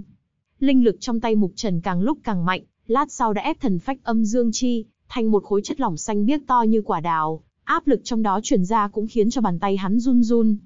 Mục Trần chu miệng hút, một sức hút mãnh liệt tác động lên khối chất lỏng, khiến nó hóa thành một luồng nước lớn ào ào chảy vào miệng hắn. Bùm! Chất lỏng xanh biếc mang theo linh lực kinh người chui vào cơ thể, khiến cho da rẻ của Mục Trần cũng hóa thành màu xanh bích lục, thân thể phình to thêm một chút. Ầm ầm ầm linh lực kinh người như hồng thủy vào đồng ruộng, ngang ngược tàn phá tông vào mọi cơ quan trong cơ thể Mục Trần. Hắn liền vội vã tập trung tinh thần vận chuyển đại phù đồ quyết, nhanh chóng luyện hóa luồng linh lực hùng hậu đang điên cuồng chạy loạn trong người. Nhưng không ngờ lượng linh lực của gốc thần phách âm dương chi này lại quá mức khổng lồ, hiện nay lại tràn hết một lượt vào trong cơ thể Mục Trần, có vẻ như hắn sắp mất khống chế. Mục Trần luống cuống chẳng kịp hành động, thình lình có thêm một lực hút mãnh liệt từ trong khí hải của hắn bay ra, hút lấy một phần linh lực tinh khiết đó. Biến cố bất ngờ trong cơ thể khiến hắn ngẩn ngơ, lập tức chuyển tâm thần bay vào xem khí hải. Luồng linh lực chui vào khí hải lập tức len lỏi vào hoa lung, dung nhập vào cơ thể cửu u tước. Cửu u tước hấp thu được lượng linh lực đó, hắc viêm trên người vốn đã rất nhạt thì lúc này lại sáng bừng lên, bốc cháy hừng hực. Nhìn cái gì? Ngươi khiến cho ta suy yếu như thế, bây giờ linh lực quá nhiều ta thó một ít cũng ngó là sao, làm thế chỉ có tốt cho ngươi thôi. Cửu u tước cao có cằn nhằn khi biết Mục Trần đang nhìn vào khí hải. Mục Trần méo miệng cười, ngươi không có ra tay ám toán ta nữa đó chứ. Hắn còn nhớ rõ lần trước, cửu u tước cũng nhân dịp hắn đột phá linh luân cảnh mà định dở trò. Lúc này đột phá còn quan trọng hơn trước kia nhiều, nếu lỡ có chuyện bất chắc gì thì thật là hối hận không kịp. Nếu ngươi muốn thế thì ta chiều. Cửu u tước truyền tới một ý niệm châm chọc. Mục Trần xấu hổ cười, trong lòng cũng yên tâm hơn nhiều, không tiếp tục nhìn ngó cửu u tước nữa, tập trung tinh thần trở lại cơ thể luyện hóa linh lực khổng lồ vẫn còn, đang quậy phá khắp nơi, chuẩn bị trùng kích vào bức tường thần phách cảnh.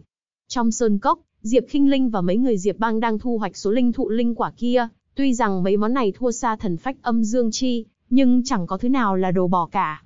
Linh khí thật là đậm. Vương Thịnh bất giác nhìn về phía sâu trong sơn cốc, linh khí phiêu đãng trôi ra, mang theo mùi hương mê mẩn tâm trí con người.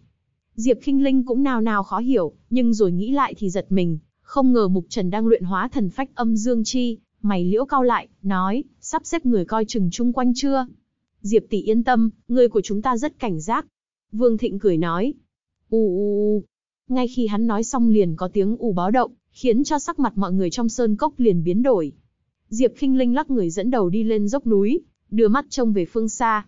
Hai bóng người từ sườn núi nhanh chóng lướt tới, thở hồng hộc nói, Diệp tỷ, không ổn rồi. Chúng ta phát hiện hai toán người đang nhanh chóng tiến tới chỗ chúng ta bên này. Diệp Kinh Linh biến sắc, là Cát Bang. Không phải. Không phát hiện ra Cát Hải. Một người trầm giọng nói. Diệp Kinh Linh cao mày nghiêm trọng, xem ra mấy kẻ biết nơi này có thần phách âm dương chi cũng không riêng Cát Hải, tên kia cũng không mấy hảo tâm nhỉ. Diệp tỷ, giờ làm gì? Vương Thịnh vội hỏi, hai đoàn người kia chắc chắn thực lực không yếu hơn Cát Bang, nếu không thì Cát Hải đã sớm ra tay từ lâu. Hiện giờ cả hai đều hướng về đây, mà Diệp Bang chỉ có chừng này người thì làm sao đủ sức chống chọi. Diệp Kinh Linh thoáng nhìn vào sơn cốc, nghiến răng, ngăn bọn họ lại đã, Mục Trần đang đột phá không thể bị quấy nhiễu. Diệp Bang tròn mắt nhìn nhau. Ngăn được sao? Bất quá Diệp Kinh Linh đã có lệnh thì cũng chỉ có nước làm theo. Diệp Kinh Linh dẫn đầu đám người phóng lên chỗ cao nhất sơn cốc, tập trung nhìn ra ngoài, liền thấy được hai nhóm người khoảng trên dưới 20 đang cấp tốc tiến qua đây. Ha ha, tiểu mỹ nhân, chúng ta lại gặp nhau. Phía bên trái, giữa đám người có một kẻ phóng lên cao, linh lực. Hùng hồn khuếch tán ra, tiếng cười nhẹ mà đầy tính khiêu khích cũng vang tới. Dương cung, Diệp Kinh Linh nhìn kẻ áo trắng kia, hai mắt nheo lại. Trước đây nàng cũng từng chạm trán kẻ này, mặc dù hắn không tham gia linh lộ, nhưng với của cải đầy đồng của nhà hắn, cũng bồi dưỡng hắn ra thành một cường giả thần phách cảnh sơ kỳ. Hừ, Diệp bang các ngươi đúng là to gan, đồ vật Chu Lê ta chọn mà cũng dám đến tranh đoạt, không biết sống chết. Trong đoàn người còn lại, một tên khác mặt áo đen sắc mặt lạnh lùng cũng phóng ra, đưa cặp mắt bất hảo nhìn Diệp Kinh Linh. Là Dương Bang và Chu Bang.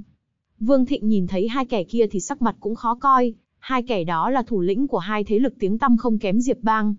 Diệp Kinh Linh nhìn chằm chằm Dương Cung và Chu Lê, cả hai đều có thực lực thần phách cảnh sơ kỳ, nếu chỉ có một mình nàng e rằng khó mà dây dưa. Diệp Kinh Linh, giao thần phách âm Dương chi ra đây. Chu Lê quát, hắn đã canh me thần phách âm Dương chi nhiều ngày rồi, nếu không phải e ngại cái tên Dương Cung bên cạnh như hổ rình mồi, thì đã sớm ra tay, nào có khả năng đoán ra được Diệp Kinh Linh lại nhanh chân đến trước. Diệp Kinh Linh cười lớn, thần phách âm dương chi người khác cũng muốn, nếu ta giao cho ngươi e rằng người ta lại không vui. Chu Lê nhướng mày, liếc nhìn Dương Cung. Hô hô, tiểu mỹ nhân không chỉ có dung nhan xinh đẹp, lại còn tâm kế giảo hoạt như tiểu hồ ly, bất quá, ta thích.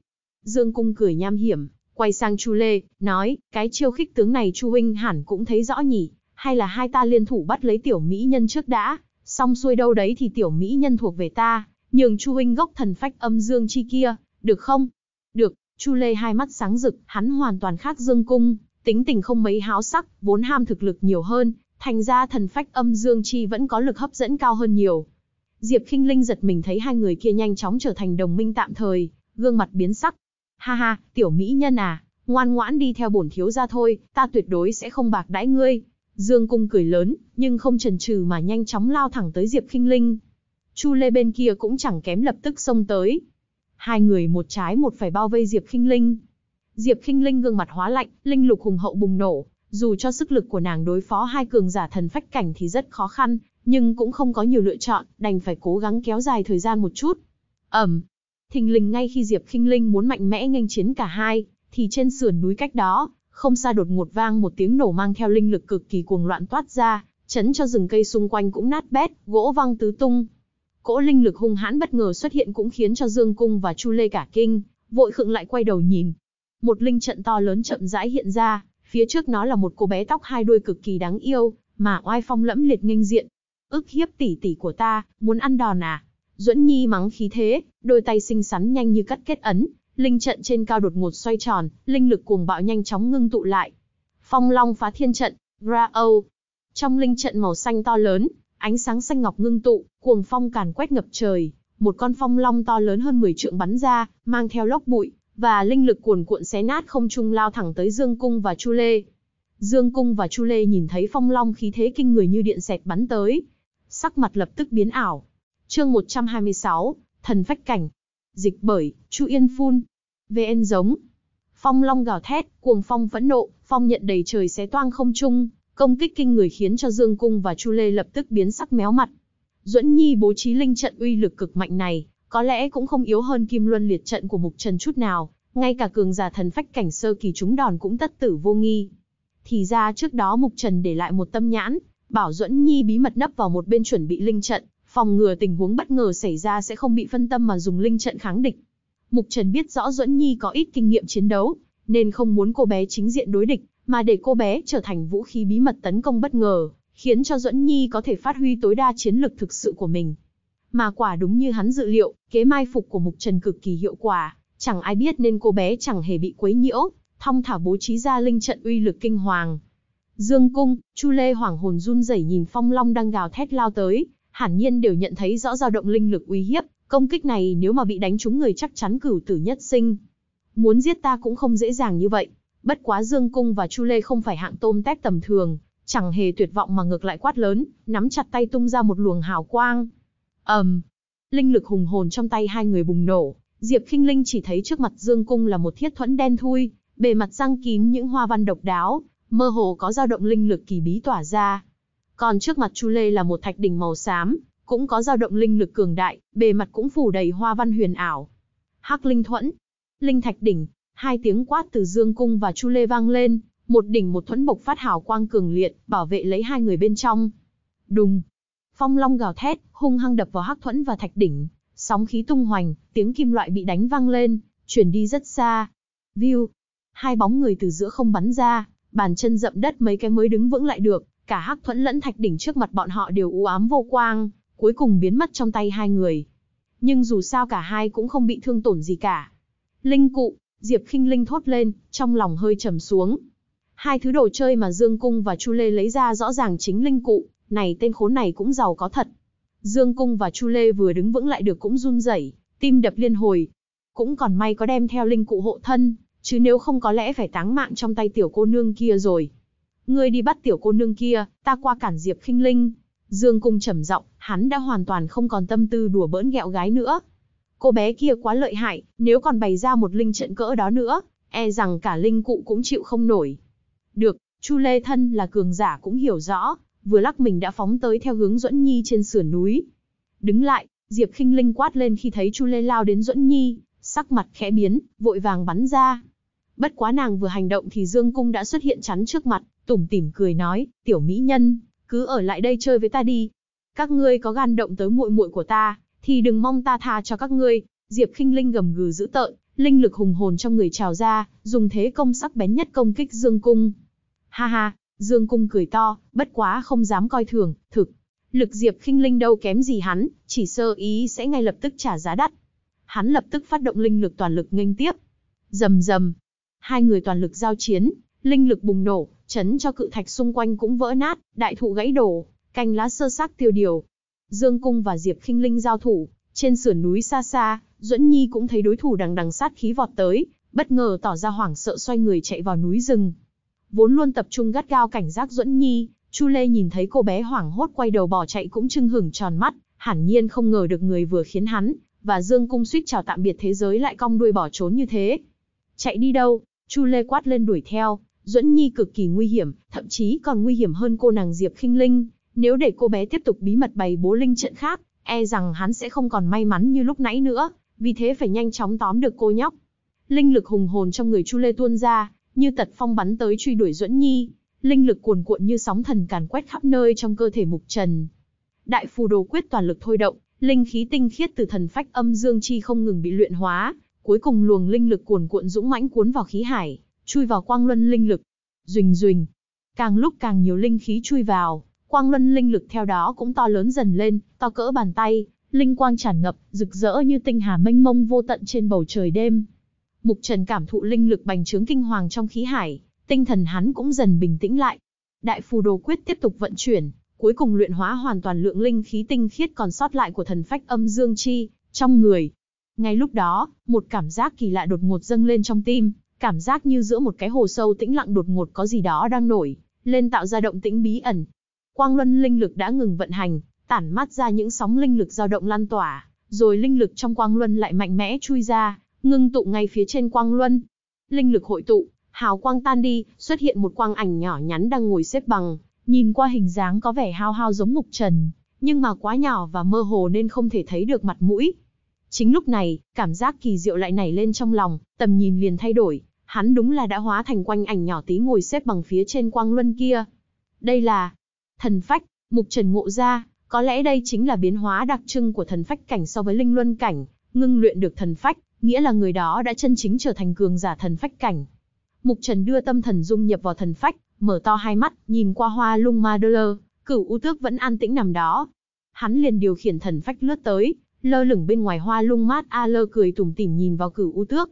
Cửu u tước cũng đã sớm phát hiện cái quang ảnh bé nhỏ bên ngoài, đôi mắt nó cực kỳ cảnh giác và đề phòng. Nhân loại một khi đạt đến thần phách, cảnh là có được năng lực luyện hóa tinh phách linh thú.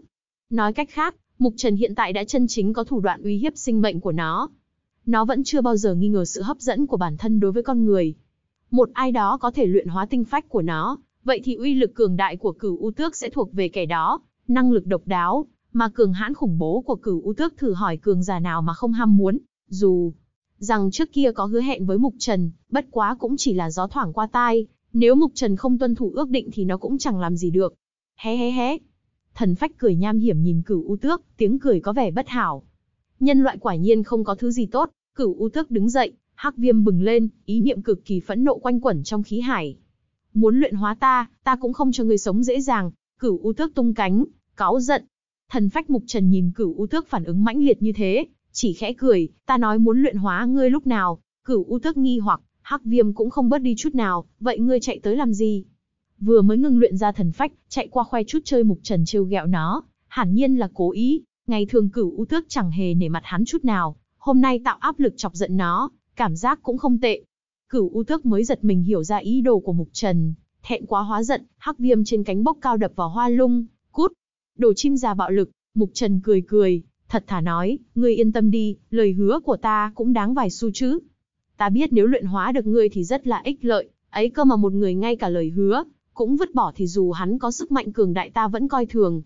Thành ra đừng có lo lắng chi cả, nếu không có ngươi giúp ta, e rằng ta cũng chẳng còn cơ hội sống tiếp với tía. Cửu U Tức chậm rãi thu cánh lại, hai mắt vẫn hung ác, gương mặt vẫn nhăn nhó khó coi, nhưng sâu trong ánh mắt cũng đã ôn hòa hơn nhiều. Tên nhóc này mặc dù quậy phá đáng ghét, nhưng cũng có điểm khiến nó hài lòng. Mục Trần nói xong, lại điều khiển thần phách quay về quang luân linh lực. Chỉ cần đạt đến thần phách cảnh, sau này thần phách đó có thể tự động thúc giục đại phù đồ quyết, đạt hiệu quả tu luyện cao hơn, cùng với bản thể của mình thúc giục tạo nên hiệu quả cộng hưởng làm ít ăn nhiều. Thần phách cảnh, quả nhiên lợi hại. Mục Trần ta thán một tiếng, tâm thần thúc giục đại phù đồ quyết hoàn thành lần vận chuyển cuối cùng, sau đó định rời khỏi trạng thái tu luyện. Vù. Bất thình lình hắn lại cảm thấy trong cơ thể có tiếng gì đó bay ra, hắn nào nào lo lắng, cẩn thận cảm nhận, phát hiện một luồng thông tin trong lòng xông ra. Mục Trần kiểm tra thông tin này, hai mắt cực kỳ kinh dị, không ngờ được thông tin kia lại từ đại phù đồ quyết mà chạy ra, lại còn chui ra đúng ngay lúc hắn vừa đột phá thần phách cảnh. Trong đại phù đồ quyết lại có thể giấu được thứ này thứ nọ nữa sao? Đại phù đồ quyết của mẹ quả nhiên huyền diệu. Mục Trần tấm tắc khen một tiếng, rồi thu nhận toàn bộ thông tin. Dường như nó là một bộ linh quyết khá khó hiểu. Đó là Kim Cang, Phù đồ thủ. Chương 127, nghiên ép. Linh lực hùng hậu ngoài sơn cốc bùng nổ, Hai bóng người bay ra, công kích sắc bén như phong bạo tác động ảnh hưởng xung quanh. Diệp Kinh Linh giao chiến với Dương Cung không ai nương tay, thực lực thần phách cảnh biểu hiện nhuần nhuyễn.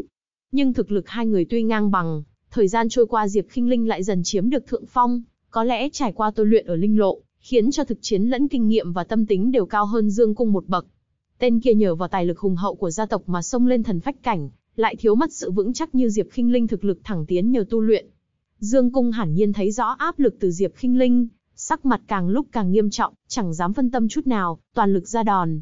Đám người đi theo Dương Cung và Chu Lê cũng đang giao chiến với mấy người Vương Thịnh, ở cốc khẩu. Vì nhân số ít hơn hẳn, thành ra họ nhanh chóng thất thế, tình hình không mấy khả quan. Ha ha, tiểu mỹ nhân, người của nàng sắp chịu hết nổi rồi, còn ngoan cố chống cự sao? Dương Cung cười lớn, định lung lạc chiến tâm của Diệp Kinh Linh. Bất quá tiếng cười của hắn càng làm cho thế công của Diệp Kinh Linh thêm sắc bén, tâm tư của nàng sao không hiểu được dụng ý của hắn. Nếu nàng phân tâm một chút, thì cục diện chẳng những không tốt hơn mà bản thân sẽ lâm nguy, lúc đó càng khó xoay chuyển. Thành ra muốn giúp đám vương thịnh thì phải càng cấp tốc giải quyết Dương Cung. Dương Cung cũng bị thế công đột nhiên bạo khởi của nàng làm, cho quính quáng chẳng dám nói thêm nửa chữ, tâm thần run rẩy trước người con gái khó chơi này. Dương Cung và Diệp Khinh Linh chiến đấu gay cấn, xa xa trên một sườn núi, một vị trí khá khuất có một đám người đang lặng lẽ quan sát, nhìn bộ dáng kẻ đi đầu chính là Cát Hải. Cả bọn vẫn tập trung nhìn những vòng chiến trong cốc, ánh mắt lóe lên sắc bén, dĩ nhiên đang trực chờ làm ngư ông đắc lợi. Đại ca, Dương Cung có vẻ không làm gì được Diệp Khinh Linh. Cát Thanh cất tiếng nói. Không vội, Diệp Khinh Linh ít người, nhanh chóng sẽ bị giải quyết, và lại Chu Lê đuổi theo cô bé kia, chỉ cần hắn bắt được nàng, Diệp Khinh Linh còn không thúc thủ chịu trói sao. Cát Hải cười gằn. Nhưng Mục Trần, hắn chẳng hề nhúc nhích, hay là hắn tìm được thần phách âm dương chi luyện hóa mất luôn rồi. Nếu mà hắn hấp thu thành công tiến vào thần phách cảnh thì... Cát Thanh lo lắng. Hừ, thần phách âm dương chi mà hấp thu dễ thế sao, tên kia đang đánh bạc à? Tự cao năng lực quá rồi, chỉ cần Diệp Khinh Linh bị Dương Cung giải quyết, cả đám tiến vào sơn cốc thì hắn đang đột phá, như thế là đang đưa đầu vào tử địa. Cát Hải lạnh lạnh trả lời. Đến lúc hắn và Dương Cung đánh nhau sống chết, chính là lúc chúng ta ra mặt. Đại ca thật sáng suốt. Cát Thanh vui mừng vô cùng, vẫn là Cát Hải tính toán chu đáo, để xem thử Mục Trần làm được gì đây. Đùng. Giữa không trung, lòng bàn tay Diệp Khinh Linh đang có lượng lớn linh lực dao động, hào quang chói mắt bùng nổ, mạnh mẽ nghênh chiến chính diện với Dương Cung. Khí lãng dữ dội bùng phát. Dương Cung vật vã lui nhanh một khoảng xa, nhìn lại Diệp Khinh Linh chỉ hơi khựng lại. Hắn cười nham hiểm, đưa tay chỉ xuống bên dưới, nơi đó đám người Vương Thịnh đã bị bao vây, thủ hạ dường như sắp rơi vào tay ta rồi. Vậy ta chém ngươi trước. Đôi mắt Diệp Khinh Linh càng thêm lạnh, linh lực trong tay lại phát động. Ha ha, ngươi ra tay thử xem. Bất chợt một tiếng cười kem theo tiếng quát lớn vang lên, Diệp Khinh Linh cả kinh vội quay đầu lại, sắc mặt kịch biến khi thấy Chu Lê đang phóng tới, cắp trong tay chính là cô bé Duẫn Nhi đang không ngừng dãy giụa. Duẫn Nhi, Diệp Khinh Linh thất thanh hét lên. "Tỷ tỷ, ta xin lỗi." Duẫn Nhi rưng rưng nước mắt, uất ức vô cùng. Kinh nghiệm chiến đấu của nàng phải nói là gần bằng không, ra tay đánh lén thì lợi hại lắm, nhưng mà đối diện cường giả thần phách cảnh như Chu Lê, thì lập tức như bề con giữa nanh sói. Chu Lê, muội muội của ta mất một sợi tóc thì ta liều mạng cũng phải kéo ngươi chôn chung. Diệp Kinh Linh nhìn chằm chằm Chu Lê, mỗi lời nói ra đều tràn ngập sát khí đậm đặc. Chu Lê nghe cũng biến sắc, hắn biết rõ một nữ nhân điên cuồng thì đáng sợ ra sao, thành ra cũng chẳng có gan chọc điên Diệp Kinh Linh, khẽ nói, chỉ cần ngươi đem ra thần phách âm dương chi cho ta, thì ta trả nàng ta lại. Diệp Kinh Linh nắm chặt tay, hàm răng cắn môi. Thế nào? Chu Lê nắm lấy bả vai yếu ớt mềm nhũn của Duẫn Nhi, chỉ hơi dùng sức đã khiến cô bé đau đớn rên lên, cái miệng xinh xắn mếu máo, hai mắt to hồng hồng rơm rớm nước mắt, nhưng cũng cố nén không cho nó rơi xuống. Nàng cũng dần hiểu được chỗ này hoàn toàn khác với nơi trước kia nàng sống, không phải ai cũng bảo vệ yêu thương nàng. Diệp Kinh Linh nghe thấy tiếng rên khẽ của Duẫn Nhi, lòng như dao cắt, run rẩy nhẹ nhẹ. Nếu ta là ngươi, sẽ ngoan ngoãn buông nàng ra. Bất chợt một giọng nói hơi chứa phẫn nộ cất lên, vang vọng trong không trung, một bóng người nhanh như sấm chớp trong cốc bắn ra. Kẻ nào? Chu Lê biến sắc nhìn quang ảnh vừa tới, quát lên, véo bóng người không thèm trả lời, nhanh như quỷ mị xuất hiện trước mặt Chu Lê, một quyền lập tức đánh thẳng vào đầu hắn. Quyền phong hung mãnh như muốn đấm vỡ đầu Chu Lê. Muốn chết, Chu Lê giận tím mặt, linh lực trong người tuôn ra, không do dự tung quyền nghênh chiến. Uỳnh. Song quyền đối chiến, sắc mặt Chu Lê liền biến đổi, cánh tay nhức nhối, linh lực của đối thủ quá bá đạo, phá hủy luôn lượng linh lực bọc lấy cánh tay của hắn, rồi còn chui vào cơ thể. Chu Lê run rẩy chấn động, lảo đảo lui sau, cổ họng khó chịu. Ngay tức khắc, bóng người nọ vươn tay chụp lấy Duẫn Nhi kéo lại, hào quang tiêu tán, lộ ra gương mặt lãnh khốc của Mục Trần. Mục Trần ca ca, Duẫn Nhi reo lên mừng rỡ, oát ức mách, tên ác độc kia bấu ta đau quá. Qua chỗ tỷ tỷ của ngươi đi, Mục Trần ca ca sẽ dạy dỗ hắn cho ngươi. Mục Trần mỉm cười nhỏ nhẹ với Duẫn Nhi. Ưm Duẫn Nhi chu miệng gật đầu, liền chạy tới núp chỗ Diệp Khinh Linh. Nàng ta vội ôm lấy cô bé xem xét sờ soạng từ trên xuống dưới, đau lòng vô cùng. Tiểu tử, ngươi là ai? Chu Lê sắc mặt u oán nhìn Mục Trần, Dương Cung bên cạnh cũng chừng mắt đánh giá. Đột ngột xuất hiện một tên Mục Trần khiến cho hắn cảm thấy bất an. Các ngươi muốn tìm thần phách âm dương chi à? Vừa mới bị ta luyện hóa xong rồi. Mục Trần cười nhạt hất hàm nói với họ. Cả Chu Lê và Dương Cung đều trợn mắt giận dữ, sắc mặt lạnh băng, nghiến răng kèn kẹt, bộ dáng như muốn xé sắc Mục Trần ra làm tám mảnh.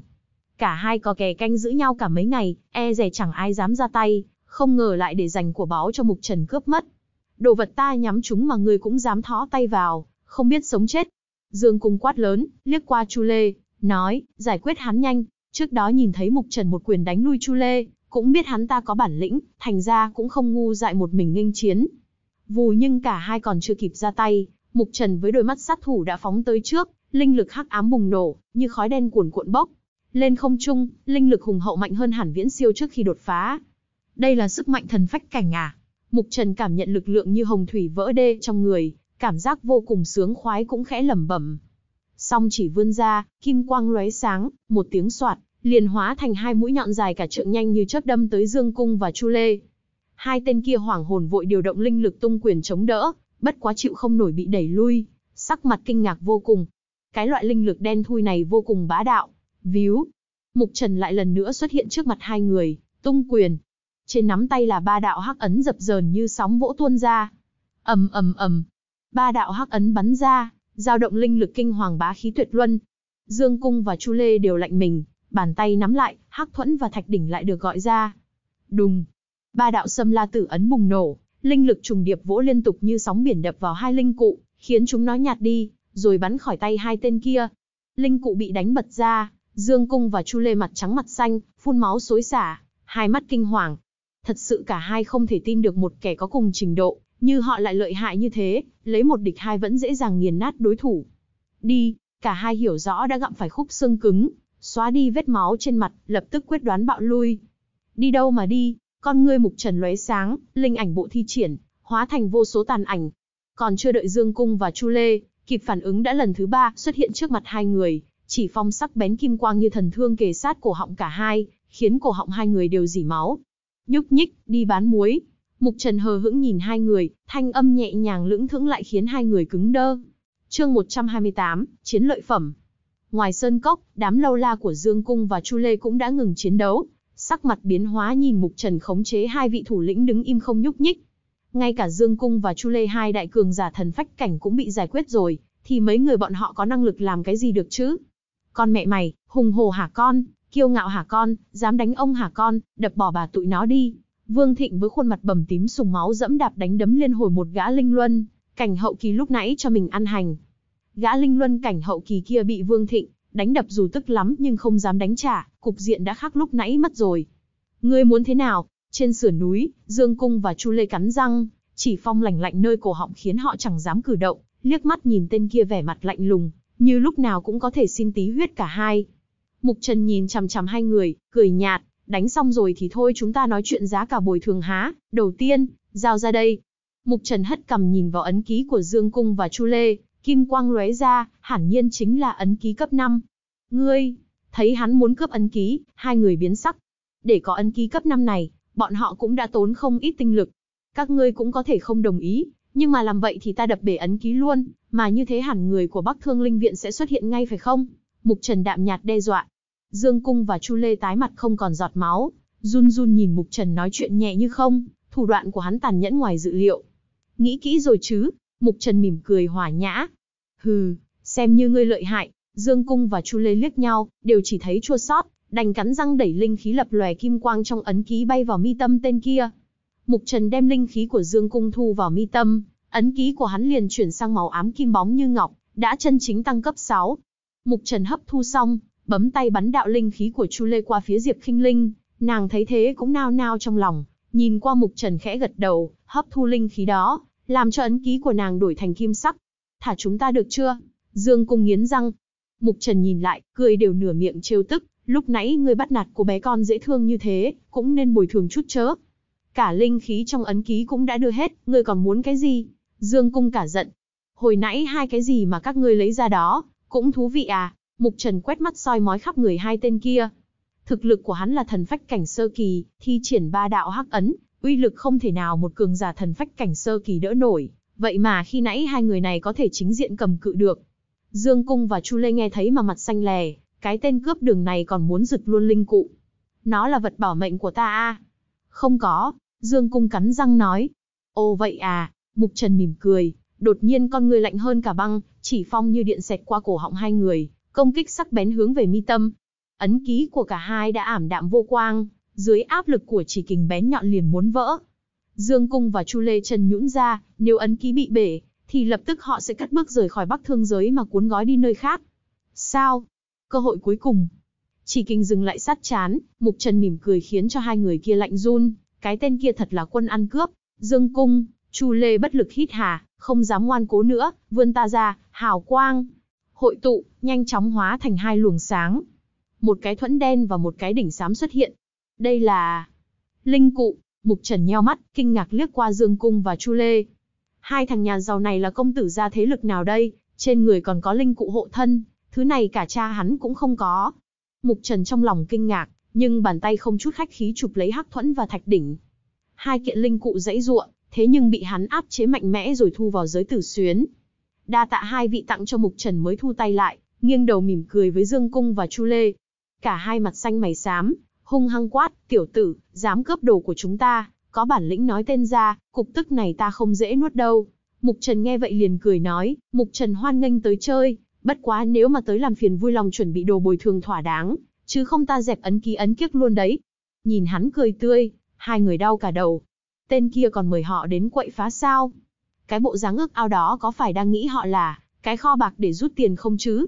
Người chờ đó, thua người không thua trận, dù đã thê thảm nhưng Dương Cung và Chu Lê vẫn uy phong, quát lên một câu liền nhảy giật lùi. Thấy cả hai bỏ chạy, đám lâu la bên kia đang thê thảm ăn đập, cũng nhanh chóng bỏ lăn bò càng chạy mất không dám ngó lại chút nào. Một hốc đá bí mật cách không xa cốc khẩu, Cát Hải và Cát Thanh đang u oán nhìn biến hóa vừa xảy ra, mưu kế ngư ông đắc lợi đã hoàn toàn phá sản. Đại ca, làm sao bây giờ? Cát Thanh đau khổ nói. Hắn thật rất kinh hoàng, Mục Trần lấy một địch hai, thắng lợi áp đảo tuyệt đối, hắn có chiến lực vượt xa Tu Vi.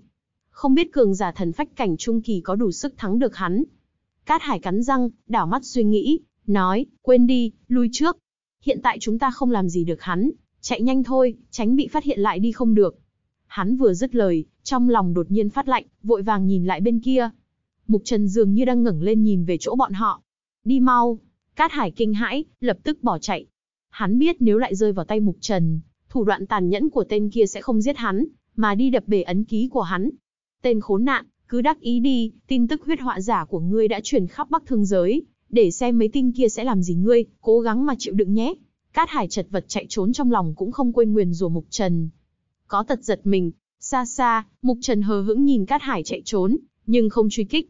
Người như Cát Hải trong linh lộ hắn hoàn toàn không đặt vào mắt, thì ở đại thiên thế giới cũng không khác gì.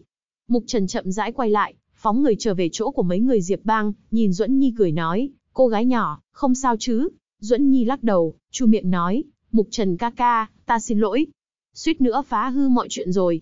Trước đó Mục Trần giao cho cô bé một nhiệm vụ trọng đại, chính là bảo nàng im lặng bảo vệ một bên, ai ngờ cuối cùng lại bị bắt, còn bị dùng làm công cụ uy hiếp tỷ tỷ, khiến cô bé cảm thấy rất thương tâm. Ngươi đã làm rất tốt, nếu không có ngươi kéo dài thời gian, ta làm sao đột phá được thần phách cảnh. Mục Trần mỉm cười xoa đầu Duẫn Nhi, bất chợt nghiêm mặt nói, nhưng ngươi cần phải dũng cảm một chút, tỷ tỷ không thể lúc nào cũng bảo vệ ngươi, và lại bản ti ân ngươi có yếu đâu, tiềm lực rất cao, còn phải bảo vệ tỷ tỷ nữa kia.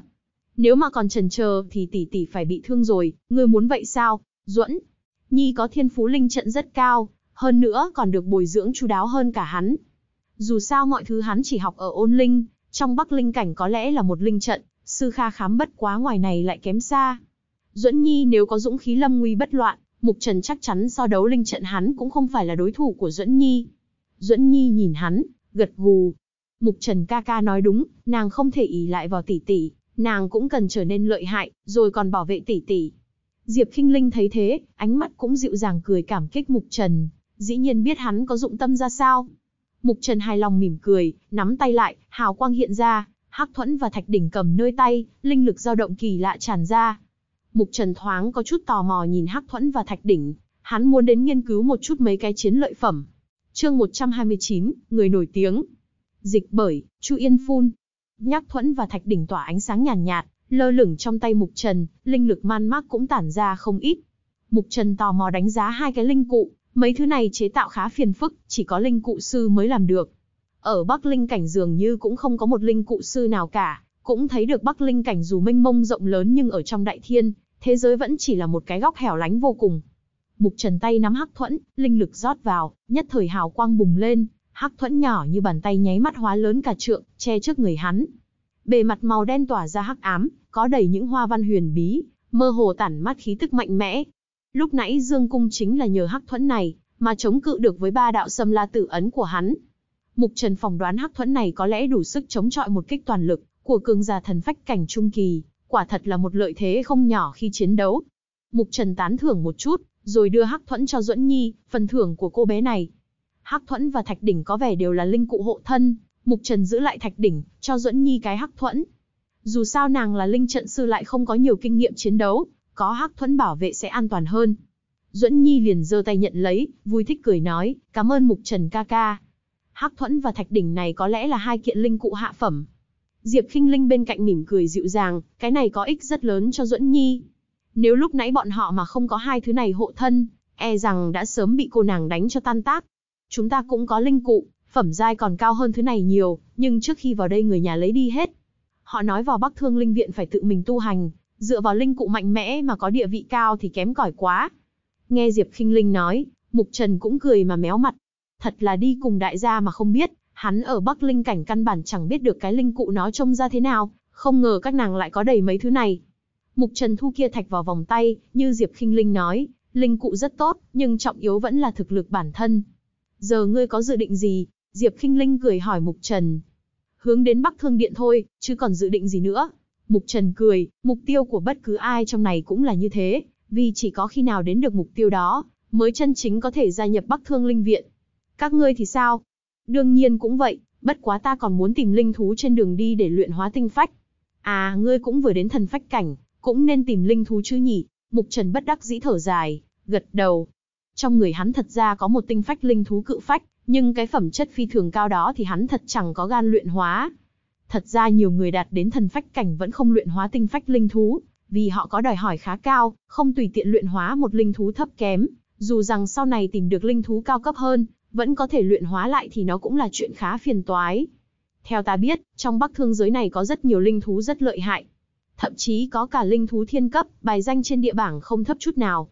Nhưng mà phẩm chất cao thì trình độ càng khó đối phó, lúc phát hiện ra chúng lại khiến nhiều người xôn xao, gian nan càng thêm khổ ải. Khảo nghiệm này của Bắc Thương Linh Viện cũng là trao cho chúng ta cơ hội rèn. Luyện ở Bắc Thương giới, để có thể mạnh mẽ hơn một chút, chân chính đủ tư cách trở thành đệ tử của họ.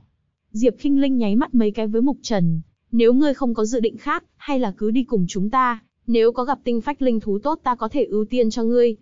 Linh thú thiên cấp. Mục Trần kinh ngạc lẩm bẩm. Quả nhiên hắn vẫn rất mù mờ với Bắc Thương giới này a. Một địa vực được Bắc Thương Linh Viện dùng làm nơi rèn luyện cũng không bình thường chút nào. Tuy nói linh thú thiên cấp cực kỳ lợi hại, chiến lực một người khó mà có biện pháp kháng cự chứ đừng nói vây bắt hay liệp sát. Thế nhưng hôm nay Bắc Thương giới lại tấp nập nhộn nhịp, có đến mấy vạn người tham gia thử thách, đều là những nhân tài kiệt xuất. Với cái số lượng cường giả đông còn hơn kiến đó, linh thú thiên cấp đối diện không bị đánh chết cũng bị mệt chết, miễn là nó đừng có khủng bố ở cấp số của sinh vật cỡ như cửu u tước. Cái tỷ lệ gặp được linh thú như cửu u tước thực ra cũng quá ư hy hữu, hắn phòng trừng dù cho Bắc Thương giới có linh thú thiên cấp, thì mạnh hết mức cũng không cao hơn hạng 50 địa bảng. Dù vậy đẳng cấp đó cũng là quá mạnh với đám tân sinh này rồi. Thật ra ta cũng có hứng thú không nhỏ. Mục Trần mỉm cười tỏ ra phấn khích. Hiện giờ cũng đã là cường giả thần phách cảnh, cũng cần luyện hóa tinh phách linh thú. Nếu không sau này giao chiến với đối thủ đã có tinh phách thì mệt mỏi, cũng không ít nha. Bắc thương giới khá rộng lớn, muốn biết được tung tích của linh thú thiên cấp nếu chỉ dựa vào một mình hắn, thì phải là may mắn lắm lắm mới có thể. Còn đi chung với Diệp Kinh Linh và Diệp Bang thì mấy chuyện đó cũng sướng hơn nhiều. Trước về tập hợp lại với mọi người, rồi bắt đầu khởi hành đi vào trung tâm Bắc Thương Giới. Diệp Kinh Linh thấy hắn đã đồng ý đi chung cũng vui sướng. Mục Trần thực lực kinh người, có hắn ở cùng, Diệp Bang cũng an toàn thêm không ít. Mục Trần cũng tán thành, cùng với mọi người vét sạch sẽ linh dược còn lại trong cốc, rồi tập trung lại nhanh chóng rời khỏi vùng núi, trở ra chỗ Diệp Bang đóng trại. Đội ngũ tập hợp không thể thiếu một hồi náo nhiệt. Vương Thịnh trở về liền ba hoa chẳng chiến đấu trong sơn cốc, mấy thành viên Diệp Bang nghe kể Mục Trần một vs hai nghiền nát áp đảo hai cường giả thần phách, cảnh sơ kỳ, cũng rung động giật mình thon thót, ánh mắt nhìn hắn càng thêm sợ hãi và sùng bái. Đối với họ, cường giả thần phách cảnh tuyệt đối là những người ưu tú, vậy mà Mục Trần lại dễ dàng nhiều lần đánh bại hết người này tới người khác, cho thấy hắn thật ở một cái cấp độ hoàn toàn khác ưu tú hơn hẳn bọn họ. Mà cái Diệp bang nho nhỏ này có thêm người lợi hại như thế tọa chấn, thì các loại uy hiếp trước nay phải e dè đã giảm bớt rất nhiều. Mấy ngày tiếp theo, Mục Trần vẫn đồng hành cùng Diệp băng tiến vào trung tâm Bắc Thương Giới. Đường đi cũng gặp không ít những phiền toái, nhưng chẳng có cái nào đủ sức ngăn cản bước tiến của bọn họ. Càng đi vào sâu khu vực trung tâm, Mục Trần nhận thấy càng lúc càng dễ gặp rất nhiều đệ tử và thế lực khác, khí tức của mọi người cũng cao hơn nhiều. Dù sao những kẻ tới được đây mà không bị cướp ấn ký, không bản lĩnh thì khó mà làm được. Những nhân vật và thế lực lợi hại cũng càng đông hơn, cũng may Diệp băng ôn hòa không chủ động cướp đoạt ấn ký của người khác, thành ra cũng không gây thù chuốc oán gì, có vẻ an bình hơn mấy cái thế lực thù hằn đánh nhau sống chết. Thế, nhưng dần dà cái an bình đó lại bị một tin tức khiến cho lung lay. Tin tức đó đối với đa số mọi người thì không mấy xôn xao, nhưng đặc biệt là những kẻ mạnh chui ra từ linh lộ lại vô cùng chấn động. Cái tin đó rất là ngắn, nhưng thừa sức chấn cho người nghe đau tim. Linh lộ huyết họa giả Mục Trần, hiện thân Bắc Thương Giới. Huyết họa giả Mục Trần, cái danh hiệu rất xa lạ với nhiều người, nhưng không ít kẻ mạnh mẽ lại hết hồn run rẩy. Mấy cường giả từng tham gia linh lộ chẳng ai không biết, chẳng ai quên được biến cố huyết họa dung chuyển kinh thiên động địa kia. Mà kẻ gây ra biến cố huyết họa đó, cái tên Mục Trần căn bản hẳn cũng sẽ là cường giả hàng đầu được đánh giá cấp vương. Tin tức ở nhanh chóng truyền ra. Có kẻ nghe tin lập tức nghiến răng nghiến lợi hận ý ngập trời, có kẻ nghe xong lại tràn ngập sợ hãi, có người lại vô cùng tò mò và rung động muốn nhìn mặt người đại danh đỉnh đỉnh linh lộ, khuấy động ba đảo ra làm sao. Có người hận, có người sợ, có người kinh. Đủ loại tâm tình, trong một cái tin tức đơn giản lan ra lại khiến cục diện trở nên phức tạp. Bất chợt Mục Trần trở thành cái tên thu hút chú ý và thường xuyên được nhắc tới nhất, khiến cho những người bình thường chưa biết linh lộ ra sao cũng nhận ra được, Bắc Thương giới lúc này có một cái tên rất khủng bố. Tin tức đó đã bắt đầu khiến Mục Trần gặp vài phiền toái, bất quá tạm thời hắn vẫn còn kham được cường độ phiền toái này. Nhưng hắn cũng biết, càng lúc tin đồn càng lan xa, thì cái phiền phức đó cũng sẽ to lên thêm nhiều. Những đối thủ trước kia của hắn, cũng không ít quái vật đáng sợ. Hắn, phải nhanh chóng tăng cường chiến lực. Bắc thương giới, ở một nơi nào đó. ầm, Trong một quả núi đột ngột có tiếng nổ vang, một con linh thú khổng lồ thân hình phủ kín gai nhọn ngã ầm xuống đất, máu tươi đầy đất, nhuộm đỏ cả một khu vực. Nó là một linh thú cao cấp có thực lực thần phách cảnh trung kỳ, nếu cường giả thần phách cảnh sơ kỳ vô tình chạm trán cũng phải nhanh chân chạy trốn. Thế nhưng bây giờ chỉ còn là cái xác chết. Một bóng người nhẹ nhàng đáp xuống cạnh cái xác thú, dùng tay moi tinh phách linh thú ra, nhanh chóng cất đi. Úi, không tồi nha. Nhanh thế đã xử lý xong con súc sinh này. Gần đó vang lên tiếng cười khẽ, một tên thiếu niên vẻ mặt đẹp đẽ phóng tới, miệng tán thưởng người đang đứng cạnh xác thú. Người kia ngẩng lên nhìn, hắn có một gương mặt anh tuấn, mi tâm là ấn ký màu tử kim, cấp 7. Sắc mặt bình thản, cứ như việc liệp sát một con ma thú này là chuyện vô cùng bình thường. Lại là cái biểu cảm khó gần này. Gã kia chán nản lắc đầu, chợt thẳng lưng cười tủm tỉm, bất quá ta nghĩ ngươi sẽ hứng thú với lời ta sắp nói ra đây. Huyết họa giả mục trần xuất hiện. Không như hắn đoán, người kia bất chợt cứng đờ, rồi phóng ngay tới chộp lấy hắn, bàn tay mạnh mẽ siết chặt, đôi mắt trở nên lợi hại, mục trần. Ở đâu? Hẳn là ở địa vực này, ta đã phái người đi thăm dò, nhanh chóng sẽ có tin thôi. Đến lúc đó sẽ cho ngớt biết. Tên kia cười nói trả lời. Hay, người nọ nở một nụ cười kỳ quái. Ta nói. Sở kỳ, tên mục trần kia không phải dễ chọc, ngươi tìm hắn làm gì? Ta nhớ ngươi và hắn cũng chưa bao giờ chân chính chạm mặt, trong linh lộ chung cũng không cừu không oán. Tên thiếu niên vẻ mặt đẹp đẽ bất đắc dĩ lắc đầu. Mục trần kia ngay cả cơ huyền cũng phải e ngại a, ta và hắn không phải ân oán. Thiếu niên anh Tuấn tên là Sở Kỳ cười nhạt, nhìn qua tên kia đang nhíu. Mày, bất chợt hai mắt rực lửa, ta thích Lạc Ly, nghe nói nàng chọn Bắc Thương Linh Viện nên ta mới muốn vào đây. Tên kia tròn mắt, chợt tỏ ra khâm phục Sở Kỳ, lợi hại, nhìn hay thật, bất quá hơn nửa là ngươi đa tình tương tư thôi. Nàng ta quá mạnh, ngươi không hàng phục được đâu. Nàng thích một người. Sở kỳ nắm chặt hai đấm, thản nhiên nói tiếp. Tên kia càng sửng sốt, chợt hiểu ra người nói. Mục Trần, sở kỳ chậm rãi gật đầu, hắn xoay người nhảy ra khỏi núi, thanh âm vang vọng tỏ vẻ không cam chịu. Ta muốn thân đi gặp hắn, ta cho hắn biết, ai mới là người thích hợp với nàng.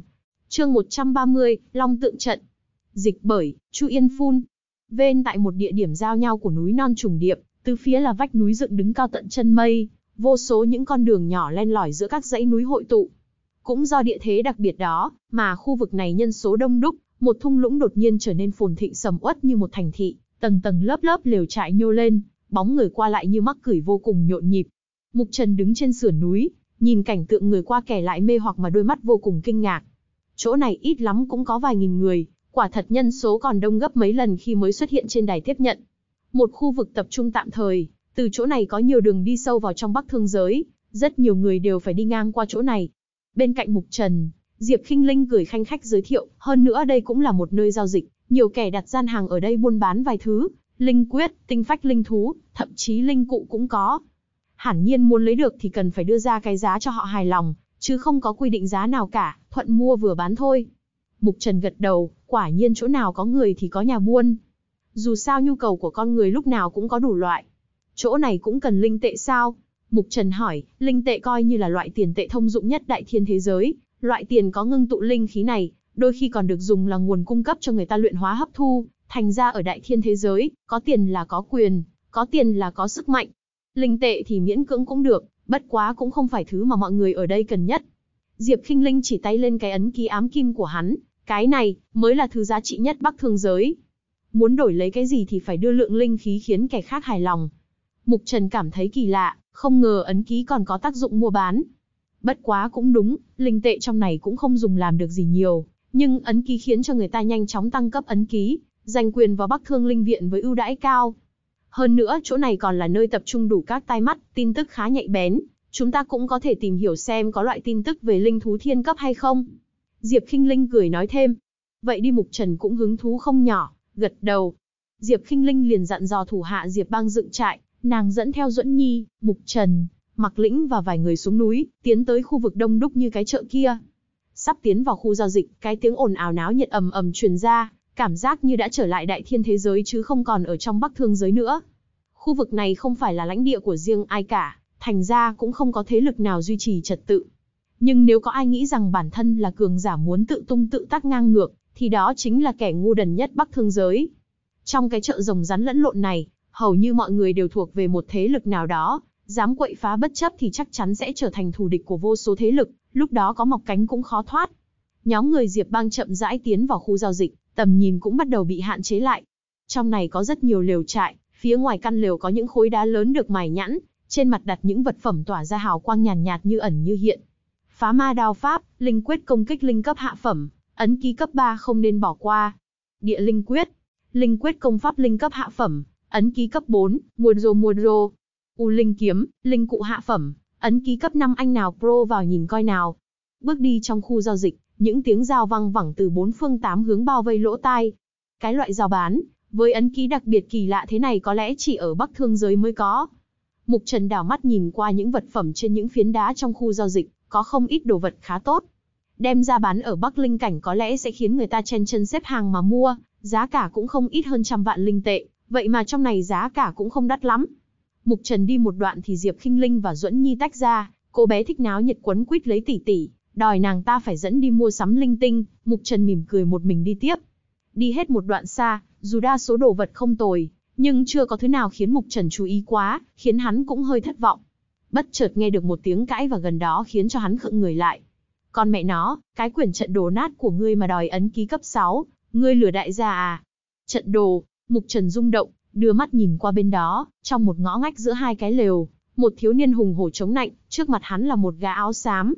Người kia bĩu môi, mặc kệ hắn la hét chửi rủa, chỉ nhắm mắt dưỡng thần. Tên kia thấy người áo xám không nói chuyện cũng sùng máu, hư một tiếng rồi bỏ đi. Mục Trần ngay lập tức tiến tới, nhìn về phía trước mặt vị thiếu niên áo xám kia. Ở trên khối đá là một cái hộp sắt màu đen, bên trong chứa quyển trục ám kim tỏa ra dao động linh lực mơ hồ. Trận đồ của ngươi cấp mấy? Mục Trần hưng phấn hỏi. Bỗng nhiên có người quan tâm, tên kia biếng nhác mở mắt ra liến nhìn Mục Trần. Ngay khi thấy trên mi tâm của hắn là một ấn ký cấp 6, tên kia liền đổi sắc, mắt sáng rỡ, trở nên nhiệt tình hơn nhiều. Đây là một quyển trận đồ cấp 2, bất quá ngươi cũng đừng ngó tới làm gì, muốn bố trí được thì cần đến 40 linh ấn, uy lực của nó thần phách cảnh trung kỳ cũng đỡ không nổi. 40 linh ấn, Mục Trần kinh ngạc thốt lên. Trận đồ cấp 2 có số lượng linh ấn nhiều như thế cũng không dễ gặp, chỉ có những linh trận sư cấp 2 rất giỏi mới có thể tu luyện.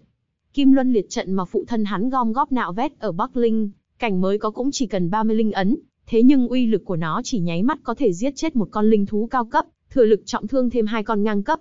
Ngươi cũng là linh trận sư. Mục Trần nhìn qua tên áo xám. Tên kia cũng gượng cười, gật đầu. Trận đồ đối với linh trận sư là rất quan trọng. Sao ngươi lại có thể bán ra? Ta mới là linh trận sư cấp một thôi, muốn đạt tới 40 linh ấn còn không biết tới ngày tháng năm nào. Mà cứ khư khư giữ cái này, ấn ký cấp 4 không biết ta có thể lấy được hay không nữa, thành ra đem đổi ấn ký là tốt nhất, ít hôm nữa gia nhập Bắc Thương Linh Viện tu luyện rồi còn lo thiếu trận đồ sao. Tên kia ra vẻ thành thật trả lời. Mục Trần cười. Nếu bị loại vì ấn ký không được cấp 4, hẳn nhiên tổn thất không chỉ là một quyển trận đồ cấp 2 có thể so sánh giá trị. Bán thế nào? Mục Trần vẫn không giấu hứng thú của hắn với quyển trận đồ này ấn ký cấp 6, không hạ giá. Món này ta khổ ải lắm mới moi được từ ông già ở nhà, chơi sang thì mua, còn không thì phắn. Tên áo xám kiên quyết. Có thể xem thử. Được, tên này cũng là linh trận sư nên biết rõ trận đồ phức tạp thế nào, muốn nắm bắt hiểu rõ cần phải nghiên cứu kỹ càng, chẳng sợ có kẻ nào đủ sức nhìn một lần là nhớ hết mọi thứ ảo diệu trong đó. Mục Trần vươn tay lấy ra quyển trục ám kim, chậm rãi mở ra. Ra o o. Quyển trục vừa mở ra, ám kim quang mang chính diện xông ra, như có tiếng long khiếu vang lên, kim quang chuyển động, nhìn như tượng rồng đặt trong đó. Kim quang dần nhạt đi, hóa thành ba chữ to. Long tượng trận. Mục Trần khẽ niệm một tiếng, đóng trận đổ lại, con ngươi tỏ rõ vui thích, hắn rất hài lòng với trận đồ lợi hại này. Ta lấy. Mục Trần nói với tên kia. Ha ha, đại gia thật sảng khoái.